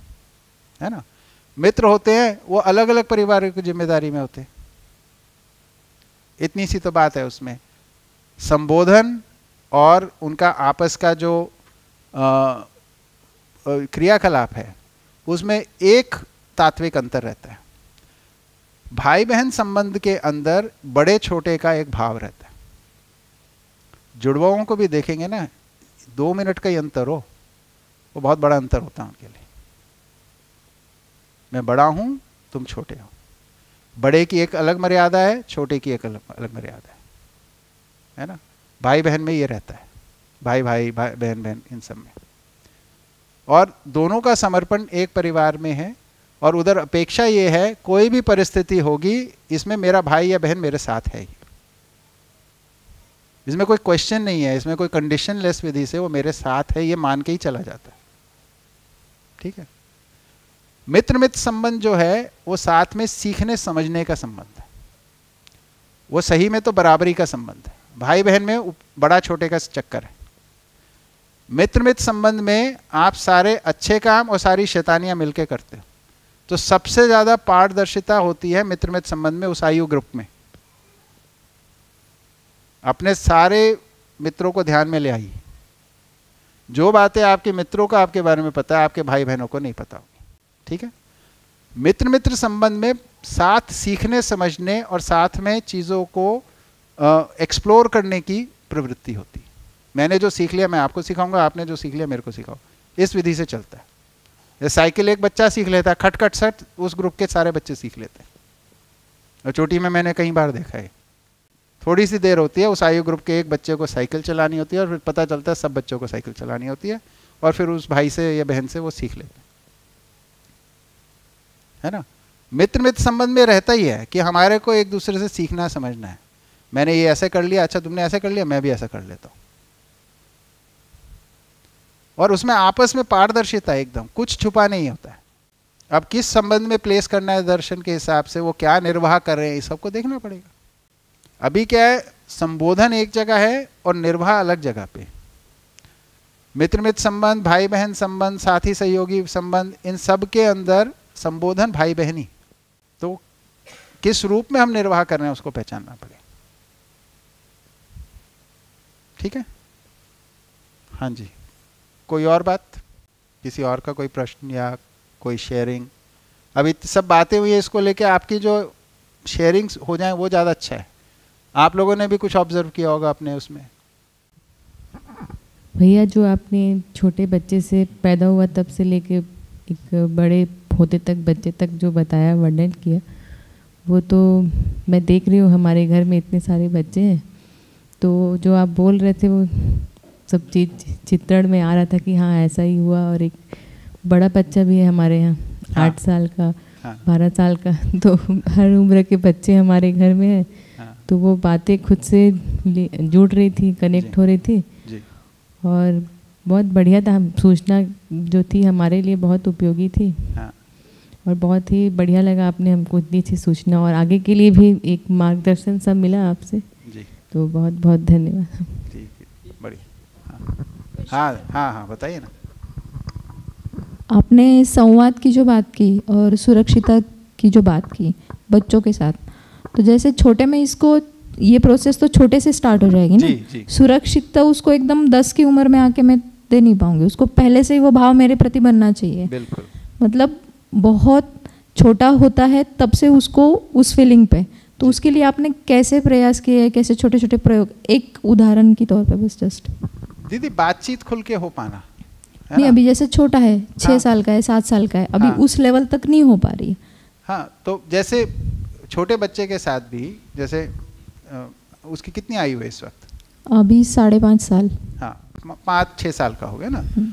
तो इस वक्त आप जिन बातों पे उसकी शेयरिंग चाहते हो वैसे सिमिलर मुद्दों पे आप उसके साथ अपनी शेयरिंग कीजिए। ठीक है ना? भाई आप जो काम कर रहे हो, काम के, काम में कैसा लगा, उसको बताओ, है ना? कोई संबंध में आपको लगता है अच्छा लगा, खराब लगा, उसके साथ शेयर करो। बेसिकली शेयर हम कर सकते हैं एक दूसरे के साथ, वो पहले अभ्यास होगा उसके अंदर। वो कैसे होगा? वो आपका अनुकरण, अनुसरण ही करेगा। जो आप करते हो, वो देखा देखी करेगा। समझ के करेगा। उसके सामने आप और आपके श्रीमान जी करो। शेयरिंग एक दूसरे के साथ? तीनों मिलके करो। खुल के बात होने का वातावरण बनना चाहिए मूलता बात। घर में अगर दादा दादी हैं, उनके साथ करो। जैसे बच्चा देखता है कि घर में बुज़ुर्गों की सेवा होती है, बड़ा होके उसके अंदर स्वीकृति बनी रहती है कि बुज़ुर्गों की सेवा होनी है। ये तो देख के होता ही है। उसी विधि से भाई, हमारे मन में जो चल रहा है, हमें बात करनी होती है। अच्छा लगता है तो भी बताना होता है, खराब लगता है तो भी बताना होता है। एक परिवार का अभ्यास होता है, संस्कार के रूप में रोपण हो जाता है इसका। जो आपने बात रखी मेरी उसमें सहमति है, कुछ मुद्दों पे और अभ्यास करेंगे। संवाद इम्पोर्टेंट दिखता है। काफ़ी सारे हम हम लोग काफ़ी समय से ही बहुत भी, बहुत बड़े बड़े भी निर्णय हुए और काफ़ी सारा अपजॉन भी हुआ तो वो सारी वो सारी खबर रहने से बच्चा काफ़ी आराम में रहता है। उसको कभी स्ट्रेस नहीं आया हाँ। कि क्या हो गया अचानक से ये? हाँ। ये भी देखा हमने। और उसका साथ हमेशा बने रहा। हाँ। तो ये नहीं उसका कभी विरोध नहीं आया। और जब हम अभी हम वैसे भी बैठते हैं तो शेयरिंग कर लेते हैं कि आज दिन भर क्या अच्छा रहा और कहाँ नहीं रहा कहाँ और ख्याल करना है। तो उनका भी शुरू हो गया। तो ऐसे ही एक ऐसे ही हुआ बीच में कि अभी हम लोग कुछ दिन से अभ्यास करते हैं कि हम किसी भी चीज़ को रखें तो रिस्पॉन्ड करें। हम्म। हम रिएक्शन क्यों करें? हाँ। तो ये भी एक अभ्यास ही है। बिल्कुल। तो एक दिन ऐसे ही मैं किसी हड़बड़ी में था और वो उन्होंने कुछ कहा और तो मैंने थोड़ा सा मेरा रवैया अलग हाँ। था मुझे समझ में आया। तो उन्होंने कहा पापा जी आपने रिएक्शन किया ना? हाँ। तो मैंने कहा हाँ मेरे से हुआ है और ख्याल रखना है। हाँ। तो फिर अगली बार और ख्याल। तो ऐसा कि भाई हम भी ठीक होना चाह रहे हैं। अब हम बचपन से हमको कोई इन्फॉर्मेशन थी हम तो ऐसे बड़े हो गए अब कोशिश कर रहे हैं लेकिन आप ऐसे बड़े ना हो जाओ इसलिए। हाँ। ऐसी बातचीत हो रही है तो उससे बहुत ज़्यादा शिकायत नहीं आती और बहुत आराम से चल पा रहे हैं ऐसी कोशिश करके देखेंगे लेकिन कुछ मुद्दे और हैं उन पर और संवाद करेंगे। जी जी। बहुत बढ़िया बहुत अच्छा उदाहरण है। देखिए मूल में बच्चा न्याय का याचक है तो हम पहले से ही जानते हैं। तो न्याय का याचक क्या देखता है? कि मेरे लिए एक पैमाना और बड़े के लिए अलग पैमाना है तो उसको अन्याय जैसा महसूस होता है। जब उसको दिखता है मेरे लिए भी वही पैमाना है बड़े के लिए भी वही पैमाना है उससे आश्वस्त होता है। कभी भी तकलीफ़ हो अगर शरीर की आ, ये जब से हैं तब से है क्योंकि हम लोग खेत में ही रहे साथ रहे तो मतलब ऐसा कोई रहा नहीं कि नौकरी में है तो कभी समय ही नहीं है। तो अभी भी उसको कभी भी तकलीफ़ हो तो वो उठाएगा। बाबा जी ऐसा हो रहा है। तो हमको लगता है कि एग्जैक्टली exactly मुझे भी कभी आलस नहीं हुआ क्योंकि हाँ। हमारी ज़िम्मेदारी है। हाँ, हाँ। तो उसका रिज़ल्ट हम देखते हैं। अगर मैं कभी भी उसको कुछ बोलता हूँ तो अधिकांशता ऐसा होता है कि वो मना नहीं करता। बिल्कुल, बिल्कुल। वो रिजेक्ट नहीं करता। उसको ध्यान में रहता है ये चीज़ें। ऐसे छोटे छोटे बहुत सारे चीज़ें तो रिज़ल्ट दिखते हैं। तो आपकी उस बात से मैं सहमत हूँ। संवाद हाँ। बहुत सारे मायनों में इम्पोर्टेंट है। ठीक बात है। और अभ्यास जो आप परिवार रूप में कर रहे हैं हाँ उन्हीं का तो अनुसरण अनुकरण करेगा। ठीक बात है। है ना? बाहर से थोड़ा ना बाहर से थोड़ा बहुत देखता है घर घर परिवार के अधिक देखता है। वही उसके संस्कार के रूप में स्थापित होता है। हाँ जी। जी भैया। हाँ भैया जितना भी अभी तक चर्चा हुई है हाँ आपने रखा उससे तो मतलब पूरा ऐसा रिलेट हो रहा है कि जैसे घर की बात हो रही है। जी जी। है ना? और जैसे पहले तो मतलब ऐसी व्यवस्था घर में नहीं थी सूचना भी नहीं थी लेकिन अभी जब से विद्या से जुड़ना हुआ तब से हमारे यहाँ भी नित्य ही मतलब जो है ना परिवार सभा होती ही है बहुत बढ़िया है ना किसी भी समय हो जाए दिन में मतलब चाहे। रात्रि भोजन में हो चाहे है ना पाँच मिनट की हो चाहे एक घंटे की हो बहुत बढ़िया कोशिश रहती है कि डेली हो हाँ। तो हमने उसमें कुछ कुछ चीज़ें मतलब जो है ना उसमें कुछ प्रयोग बोलना चाहिए अपनी समझ के अनुसार जैसे भी जी स्थिति परिस्थिति अनुसार अपन ने कुछ निर्णय लेके मतलब अपनाया तो उससे काफ़ी सुखद मतलब जो है ना हाँ। परिणाम भी देखने को मिले बहुत बढ़िया तो जैसे कि मतलब जो है ना दोनों बेटा जी में जैसे अदिति बेटा जी छोटे हैं हाँ। उनका अपनी माता जी के साथ में अच्छा बन गया है हाँ। तो हर छोटी छोटी बात को शेयर करना मतलब जो है ना दिन भर में जो भी अच्छा लगा हाँ। जहाँ भी कुछ दुख हुआ उनको हाँ। है ना उसको शेयर करना और फिर हाँ। मतलब फिर उसको फिर मतलब एक परिवार सभा में आना फिर वहाँ से हमको समाधान जो भी हमारी समझ में है हाँ। वो डायलूट करके देना उनको हाँ। तो फिर उसका फिर क्या फलन वो करके देखे और प्रयास करके देखे फिर कैसा रिज़ल्ट आया हाँ। उसका फिर मतलब जो है ना परिवार में मतलब उनका मतलब जो है ना मतलब रखना हाँ। तो ऐसा एक प्रक्रिया बनी हुई है हाँ। और जय बेटा जी के साथ देखने को मिला कि थोड़ी आयु में बड़े हैं हाँ।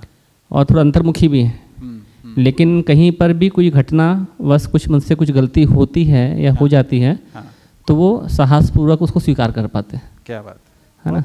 और एक अच्छी बात ये भी एक उनके अंदर स्टेबल हो पाई है इस पूरी प्रक्रिया के द्वारा कि वो किसी का भी किसी की भी शिकायत मतलब सुनने के अभ्यस्त नहीं है। हम्म, मतलब वो कोई जैसे हम भी मतलब जो है ना एक एक परिवार सभा में रह रहे हैं जी, जी। तो किसी बात के लिए हम शेयरिंग की कि भैया आज ऐसा कर दिए ठीक नहीं था करके हाँ। तो वो अगर सभा में बैठे हैं तो बिल्कुल टोक देते हैं। अच्छा। कि पापा जी यहाँ पर अपन को बात नहीं करना चाहिए करके। ठीक बात है। ना हमको बात डायरेक्ट बात करना चाहिए चाचा जी से ताई बाबू जी से। हाँ। है ना उनको ध्यान दिलाना चाहिए अपन पीछे से करने से तो मतलब जो है ना ठीक नहीं करके। बहुत बढ़िया। तो इतना एक जीवन जीवन समान है ऐसा करके जो है ना समझ में आती चीज़ें।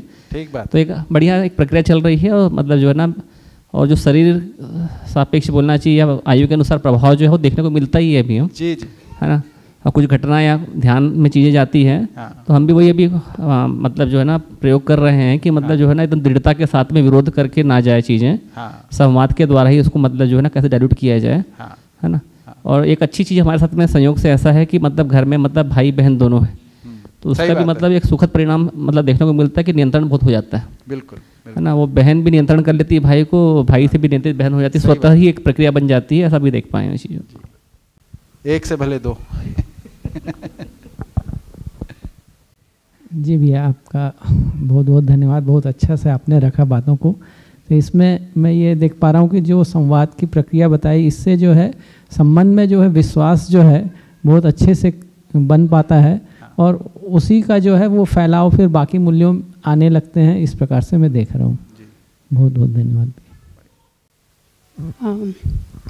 मुझे बहुत अच्छा लगा एक्चुअली बस यही शेयर करना था कि मैं बहुत अच्छा लगा जो आपने एकदम स्टार्टिंग से जो क्रमबद्ध ढंग से बुक आखिरी तक की बात रखी है पूरा एक क्रम पूरा हुआ सा तो वो बहुत अच्छा लगा। और संवाद वाला भाग मैं भी देख पाती हूँ जैसे इनने बताया भारती ने घर में तो हैं ही इतने सारे बच्चे। तो हम जब छः महीने में यहाँ पे थे हॉस्पिटल हाँ। बिल्डिंग में रहते थे तो उस हाँ। समय छोटे बेटा जी करीब साढ़े चार साल के थे बड़े वाले साढ़े पाँच छः साल के थे। हाँ। तो उससे पहले हम लोग ऑफ़िस जाते थे दोनों और हमेशा हमारी मीटिंग्स चलती थी। तो फिर संवाद की बात यहाँ पे निकली छः महीने में कि बच्चों से संवाद करना है या आपस में संवाद करना है तो फिर एक दिन ऐसे ही हमने ट्रायल मारा कि चलो मीटिंग करते हैं करोगे? तो वो एकदम खुश हुए कि मम्मी जी पापा जी मीटिंग जाते हैं तो हम भी मीटिंग करेंगे। तो वो मीटिंग करना उनके लिए एकदम अच्छी बात होती थी और वो रोज़ जिस दिन मीटिंग नहीं होती थी हम थके हुए होते थे दिन भर पढ़ना रहता था। हाँ। तो फिर थक भी जाते थे और छोटे छोटे थे तो उनका ध्यान रखना पड़ता था दिन भर। हाँ। तो वो मीटिंग उनके लिए एकदम कंपलसरी रहती थी। मम्मा आज मीटिंग नहीं की है मम्मा आज मीटिंग नहीं की है मीटिंग करेंगे। तो वो और उस समय शांत बैठ के स्थिर बैठ के हमको मीटिंग करना होता था एकदम मर्यादित हाँ। शरीर नियंत्रण के साथ में वो रहता था। तो वो अभी भी बच्चों में दिखता है। और अब ऐसा हो गया हमने हमारे दोनों बच्चों से शुरू किया था और अब हाँ। परिवार के सभी बच्चे हाँ। घर में जैसे कुछ भी उनके मुद्दे आते हैं बच्चों के चारों बच्चों के पाँचों बच्चों के अभी तो वो छोटे वाले थोड़े छोटे ही हैं हाँ। बाकी चार बच्चों के जो भी मुद्दे आते हैं तो फिर वो आते हैं कि आज ना मामी आज मीटिंग करेंगे मम्मा जी आज मीटिंग करेंगे कि ये ये मुद्दे हैं तो हम लोग वहाँ पे वो मीटिंग में सब बैठते हैं और इतनी सुंदर शेयरिंग होती है सारे बच्चों की और वो संवाद का प्रभाव दिखता है और वो ये दिखता है कि बच्चे अपनी गलती खुद से स्वीकारते हैं बहुत अच्छे से और हाँ। उनको वो जो समझदारी ज़िम्मेदारी की आप बात बोले हाँ। वो भी उनको स्वीकार होती है और वो ग्रहण करना ही चाहते हैं हाँ। तो वो भी बात दिखती है और एक और चीज़ ये भी दिखता है कि वो फिर क्वेश्चन क्रॉस क्वेश्चन भी करते हैं जहाँ पे हम कम पढ़ते हैं कि जैसे फॉर एग्जांपल शरीर नियंत्रण पे बात हमारी अभी कुछ दिनों से हो रही है लगातार कि शरीर हाँ। नियंत्रण पे ध्यान देना है हमको हाँ। क्योंकि अब सो छोटे छोटे हैं तेज तेज साइकिल चलाना वगैरह बहुत सारा कुछ होता है तो दिन भर में ये बात होती है कहाँ कहाँ पे हम शरीर नियंत्रण को देख पाए और कहाँ कहाँ छूटा हम्म। तो कभी कभी मैं ध्यान दिया अरे ये छूट गया तो वो मुझे भी ध्यान दिलाते हैं तो वहाँ पे फिर वो स्वीकार करना पड़ता है वो मतलब खुशी खुशी दिखाते हैं अरे मम्मा जी का नियंत्रण छूटा मम्मा आपका हाँ बेटा छूट गया तो वो वाला चीज़ ना बहुत ही सुंदर है हाँ। और ये दर्शन में आके दर्शन पढ़ के जब हम दर्शन की रोशनी में जब ये संवाद कर पाते हैं तो ये प्रक्रिया बहुत ही सुंदर है। तो ये अभी हम लोग देख पाते हैं परिवार में इस तरह से। बहुत बढ़िया। हम्म। हाँ मतलब आपका प्रस्तुति तो बहुत बढ़िया था भैया कि क्रमिक रूप से आप बढ़ते क्रम से एज ग्रुप से भी रखें। और किस एज ग्रुप में क्या विचार चलता है कैसा वो खेल खेलते हैं कैसी वो भाषा बोलते हैं अगर माता पिता खुद वैसे बड़े हुए हैं है ना और वो अपने आप को भी ऑब्ज़र्व किए हैं कि नहीं किए हैं भी बहुत मायने रखता है। कई बार क्या होता है कि हम अपने को भी ऑब्ज़र्व नहीं करते और बढ़ते चले जाते हैं तो इसके कारण वो बच्चों पर भी नहीं कर पाते। हाँ। तो वो गैप छूटते जाता है। वो गैप छूटने के कारण ही जो ये सारी चीज़ जो है ये चालू होता है। मतलब मैं ये देखी हूँ कि अगर माता पिता में ऑब्जर्वेशन का क्षमता नहीं है या टीचर अगर वो वही तो टीचर बनेंगे जी जी। तो टीचर में भी वो ऑब्जर्वेशन नहीं आएगा। वो ऑब्जर्वेशन नहीं आने से ही सारा ये क्रिएट होता है जो आप बोल रहे हैं। तो हम एक माता पिता क्योंकि जीवन विद्या में आने के बाद बहुत लोगों का आप बच्चों पर ध्यान जाने लग गया। ये बहुत बड़ी उपलब्धि सबको मिली। नहीं तो अभी बहुत लोग जो परेशान है ना हाँ। वो सिर्फ़ ऑब्जर्वेशन नहीं है करके परेशान है। ठीक बात है। ठीक बात अगर शुरू से ही माता पिता क्योंकि हम लोग के हम लोग के माता पिता शुरू से ऑब्जर्वर रहे हैं दोनों। हाँ। तो हमें भी वही विवाह के लिए प्रीरिक्विजिट होना चाहिए। शादी तभी होगी जब व्यक्तित्व को ऑब्ज़र्व करना आ गया। हाँ तो उसके बाद हम लोग में भी वही ऑब्जर्वेशन की क्षमता आ गई मतलब एक एक चीज़ को देखना और दिखाना। बारीकी से जैसे कि ये आपको मज़ा आ रहा है हाँ। है ना? इसमें ज़िम्मेदारी का एहसास होना चाहिए कि मज़ा क्यों आ रहा है इस पर जाओ मतलब शादी हो गया शादी में जाते हैं अपन ना। पापा मतलब शुरू से हम लोग को एक एक चीज़ ऑब्जर्वेशन करना सिखाया और हाँ। ध्यान भी दिलाया कि ये ठीक है ये ठीक नहीं है। हाँ। तो वो चीज़ हमारे में भी आ गया जैसे शादी में गए शादी का हो गया पार्टी हो गया बातचीत हो गया अब वापस घर आना है। लेकिन शादी के बाद गॉसिप होती है। गॉसिप में सब मज़ा लेना चालू करते हैं है। ना? एग्जैक्टली जैसे हम भाई बहन बैठे और चेयर लगाए बैठे पापा बोले शादी खत्म चलो घर। है ना? तो ऐसा लगता था कि अरे मज़ा लेने का समय था और अभी ले गए। हाँ। फिर पापा घर में जाकर डिस्कस करते थे कि हम लोग जिस प्रयोजन से गए थे वो पूरा हो गया। अब बेटा फालतू की बात होगी। यहाँ पर एक भी बात जो है वो कहीं भी जुड़ेगा नहीं और यहीं पर से कुछ भी कुछ घटना होती लड़ाई झगड़ा होता है जो भी चीज़ होता है। हाँ, हाँ। तो ऐसे ना हम लोग का कहीं जाना घूमना कहीं मार्केट गए कहीं भी गए वहाँ से आने के बाद डिस्कशन ज़रूर होता था हम लोग के घर पे। तो ये जो ऑब्जर्वेशन वाली पार्ट है ना पापा मम्मी से हम लोग के में आया मतलब। और आप जो बताया ना क्रमिक रूप से यही छूटा हुआ है एक्चुअल में। सारा अपराध जो है बच्चों में जो होता है फिर हम अचानक एक्शन लेते हैं घटना के आधार पर ये घटना कहाँ से घटते चली आ रही थी वो हमारे ध्यान में नहीं रहता। और हम पूरा भड़ास निकालते हैं उस घटना को लेके बच्चों पे। ये बहुत बड़ी अपराध के रूप में जब बोले ना अपराध के रूप में देखते हैं। जैसे अपने अभिभावक विद्यालय में दो अब जो माता पिता रिएक्ट करते हैं जो टीचर रिएक्ट करती है बच्चे को पता है कि टीचर कैसे रिएक्ट करती किस बात पे। हाँ। वो उसको भी पकड़ के बैठे रहते हैं। एक बच्चा ब्लैक बोर्ड पर लिखा अध्यापिका जी दौड़ के आ रहा है इतना अध्यापिका जी अध्यापिका जी क्लास फोर का बच्चा। मैं क्या हो गया? अध्यापिका जी ब्लैक बोर्ड पे ना कोई आई लव यू लिख दिया। ना। मतलब उसके लिए इतनी बड़ी घटना हो गई। आई लव यू लिख दिया मतलब वो चला एकदम ऐसा डरा हुआ बता रहा है कि गलत बात कोई कर दिया। तो मैं बोली अरे तो इसमें क्या हो गया बेटा? आई लव यू लिख दिया तो मैं तो आपको भी आई लव यू बोल सकती हूँ। आई लव यू का मतलब क्या होता है? मतलब उसको ऐसे आता है। ना उसको सम्मानीकरण करना बस बस उतना ही तो काम। यही काम है। तो बच्चे को ना सामान्य करने माता पिता में ये एबिलिटी डेवलप होना है। हम में ही एबिलिटी नहीं एक्चुअल में देखा जाए तो। सही बात। तो ये जो आप क्रम बताया ना एक्चुअल में हर किसी को हर ये बहुत अच्छा सेशन लिया आपने। इसलिए मैं बोले कि आना चाहिए सभी को कि हमारा से ही क्रम छूट रहा है ऑब्जर्वेशन का। हम ऑब्जर्वेशन नहीं कर पाए तो अभी से शुरू भी कर सकते हैं। जहाँ से पता चला तो बहुत बढ़िया प्रक्रिया है। और जो आपने बताया सेकेंडरी ग्रोथ जहाँ से चालू होता है बहुत सेंसिटिव मुद्दा है भैया ये वाला। क्लास फोर्थ से हाँ। मैंने ऑब्ज़र्व किया ना इतने साल हो गए। क्लास फोर से ये सेंस चालू हो जाता है भैया। उस सेंस के आधार पे बच्चों से हम डिस्कशन नहीं करेंगे। हम शर्माएँगे टीचर होके। पेरेंट्स शर्माएगा कि बच्चों से क्या बात करनी पड़ेगी? करनी ही पड़ेगी तरीके से रखने आना चाहिए हाँ। कि आपको किसी का टच करना अब वैसे अच्छा क्यों लग रहा है? पहले नहीं लगता था। हाँ। पहले खेलते थे। हाँ। पर अब बच्चे वो टच को कुछ अलग फील करते हैं। तो वो डिस्कशन अगर हम तरीके से शिफ्ट नहीं करते ना तो बच्चे फिर कहीं का कहीं ले आते। दिशा देना हमारा वहाँ पर काम है। तो सही दिशा कैसे मोड़ते जाना है कि बच्चे को टच को कहीं मत ले जाए है ना? ये सब चीज़ स्टेप बाय स्टेप देते जाएँगे ना तो बच्चे जो थर्टीन फोर्टीन में जो अपराध कर सकते हैं वो नहीं होगा। बिल्कुल हर बच्चे में ना ये क्वेश्चन जो आपने बोला ना माता पिता बन सब क्वेश्चन में से करते हैं बच्चे। हाँ। क्योंकि मैं ना पूरा बात करती तो बच्चे ना बहुत से क्वेश्चन ये सब भी करते हैं कि उसने ऐसा किया तो कैसा रिएक्ट करना चाहिए अध्यापिका जी? तो मैं पूरा खुल के चर्चा करती हूँ। जैसे गेम खेलते हैं उसमें भी उन लोग को जैसे बहन और दो भाई फुटबॉल से लड़ रहे हैं तो क्या बहन वहाँ सहज होके बॉल छीन सकती है क्या? मैं ये पूछती हूँ कि भाई बहन का गेम अलग अलग क्यों होता है बेटा? आप लूडो खेलो ना आप बैडमिंटन भी खेलो कोई दिक्कत नहीं। फुटबॉल मत खेलो। फुटबॉल खेलोगे दो भाई अगर आपस में भिड़ रहे हैं आप बहन जाके कंफर्ट फील करते हो क्या? नहीं नहीं नहीं मैं नहीं कर पाती हूँ। भाई से पूछी बहन दो भीड़े हैं क्या आप वहाँ एंट्री कर पाते हो क्या? अब पहले करते थे। हाँ। लेकिन अब अचानक क्या हुआ कि आप बचते हो? मैं देख रही दूर से खड़े के बात करते रहती हूँ। पर मैं देखी बेटा आप बच रहे थे। हाँ। क्यों बच रहे थे? ऑटोमेटिक इसको पहचान यही मर्यादा की पहचान। ये स्थिति को पहचानना पड़ेगा बेटा। हाँ। कि यहाँ पर अब आपको वही भाई बहन के साथ अब थोड़ा डिस्टेंस बना रहे हो ये मर्यादा है बेटा बस यहीं पर पहचानना आपको पता चल जाएगा कि यहाँ पर हम आपको मना क्यों करते हैं। तो इस तरह से ना एक टीचर और पेरेंट्स इस चीज़ को समझते जाए हाँ। और क्रम से बच्चों को बस रखते जाए। तो मुझे नहीं लगता कि कोई बड़ा अपराध होने वाला है। सही बात। बाय द वे फिर भी हो गया तो ये सामान्यकरण। बिल्कुल हो सकता है।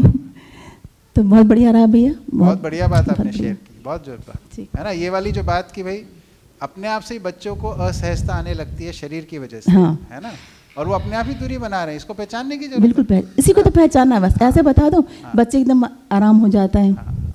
और एक चीज़ और मैं बता रही हूँ भैया हाँ। अभी का वातावरण जिस तरह से हो गया है हाँ। और हमारे बच्चे कम हैं हाँ। एक बच्चा मिस्टेक किया फिफ्टी परसेंट मिस्टेक किया हो जाता है दो बच्चे अगर क्लास में हैं हाँ। एक लड़का और एक लड़की है हाँ। है ना हाँ। अब सोचो कैसे मतलब इसको कैसे टैकल करें? अगर मान लो क्लास में दस लड़के हैं या बीस लड़कियाँ हैं ऐसा हाँ। ये एक रेशियो ये हो गया कि साथ साथ रहना साथ साथ खेलना। हाँ, एक लड़का और एक लड़की है। हाँ। वहाँ पे बहुत आपको काम करना पड़ेगा दिमाग से विवेक से काम करना पड़ेगा किस तरह से उनसे बात की जाए है ना?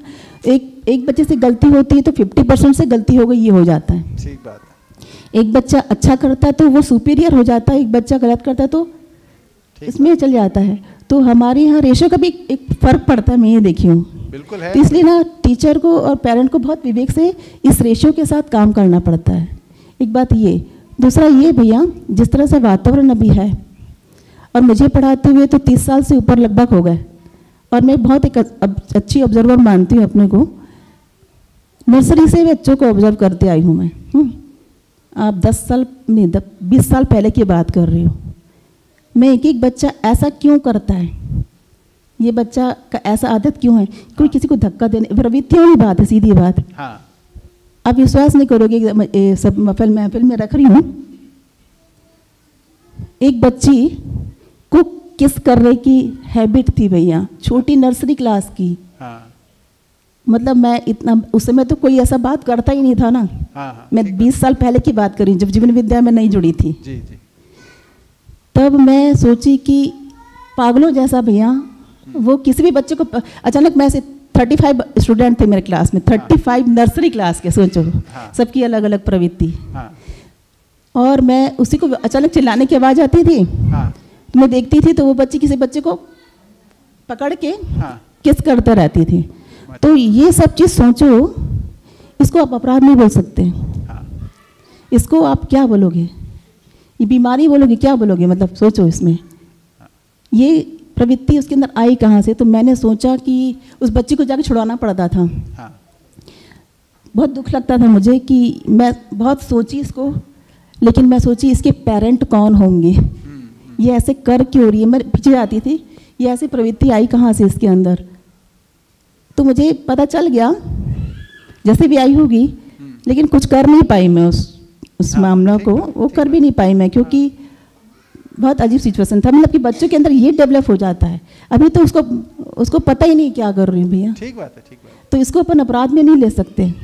और धीरे धीरे अगर इस पर ध्यान नहीं देंगे अगर मैंने तो उनसे बहुत कुछ बात बातचीत की बच्ची से पर बच्ची को अपन ऐसी चीज़ नहीं ऐसी बढ़ती एज में ना बहुत सारी गलतियाँ बच्चे मज़े लेने के लिए करते रहते हैं।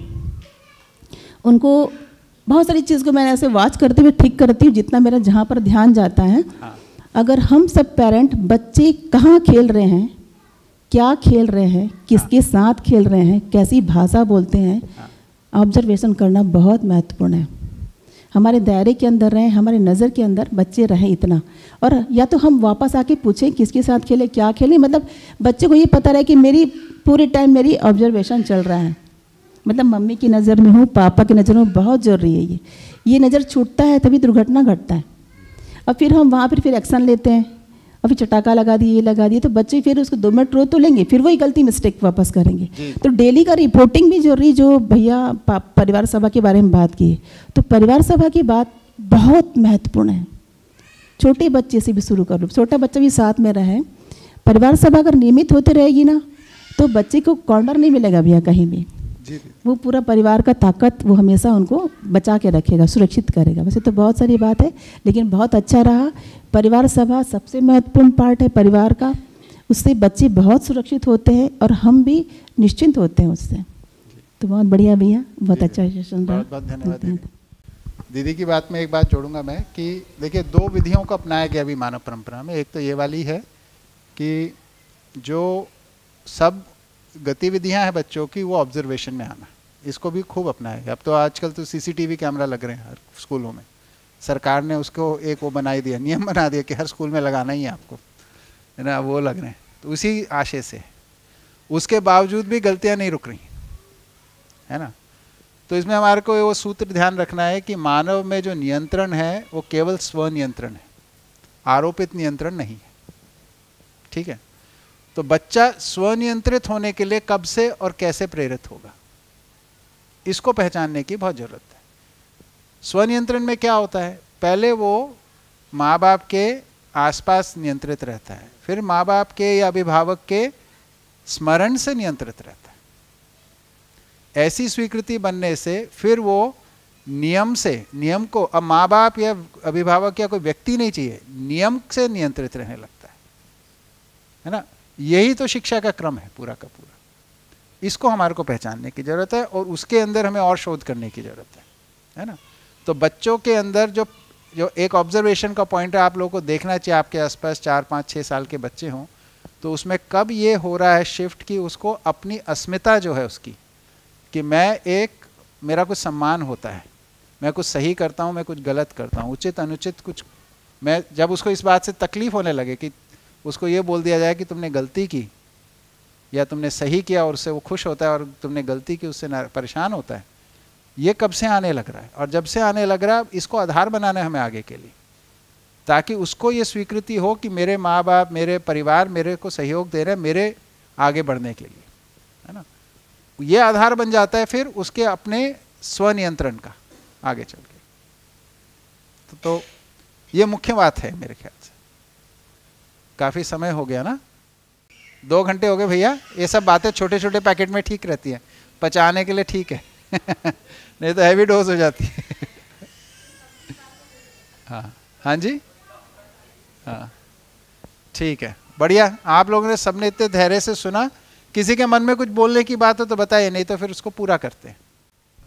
बहुत अच्छा रहा भैया। पूरा कर तो रहे थे कई सारा चीज़ें लेकिन आपने जो शब्द से क्रमिकता से रखा बहुत मतलब ध्यान गया कि कहाँ कहाँ छूट रहा है कुछ कुछ चीज़ें और मैं देख रही हूँ जो 25 साल से मैं फैमिली टाइम करके हम लोग घर में करते थे बाद में परिवार सभा नाम दिए उसको। जी जी। तो मैं देखती हूँ बड़े बेटा जी मैं शेयरिंग वाला बहुत अच्छा खुल के सारा रखती हूँ। बहुत बढ़िया। और छोटे में भी धीरे धीरे कर रहे हैं उनमें धीरे धीरे आ रहा है वो चीज़।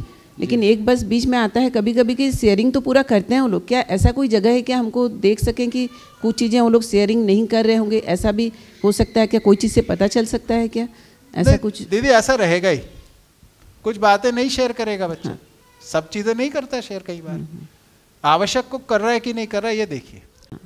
है ना? कई बार होता बच्चा नहीं कंफर्टेबल होता है कोई बात को शेयर करने के लिए।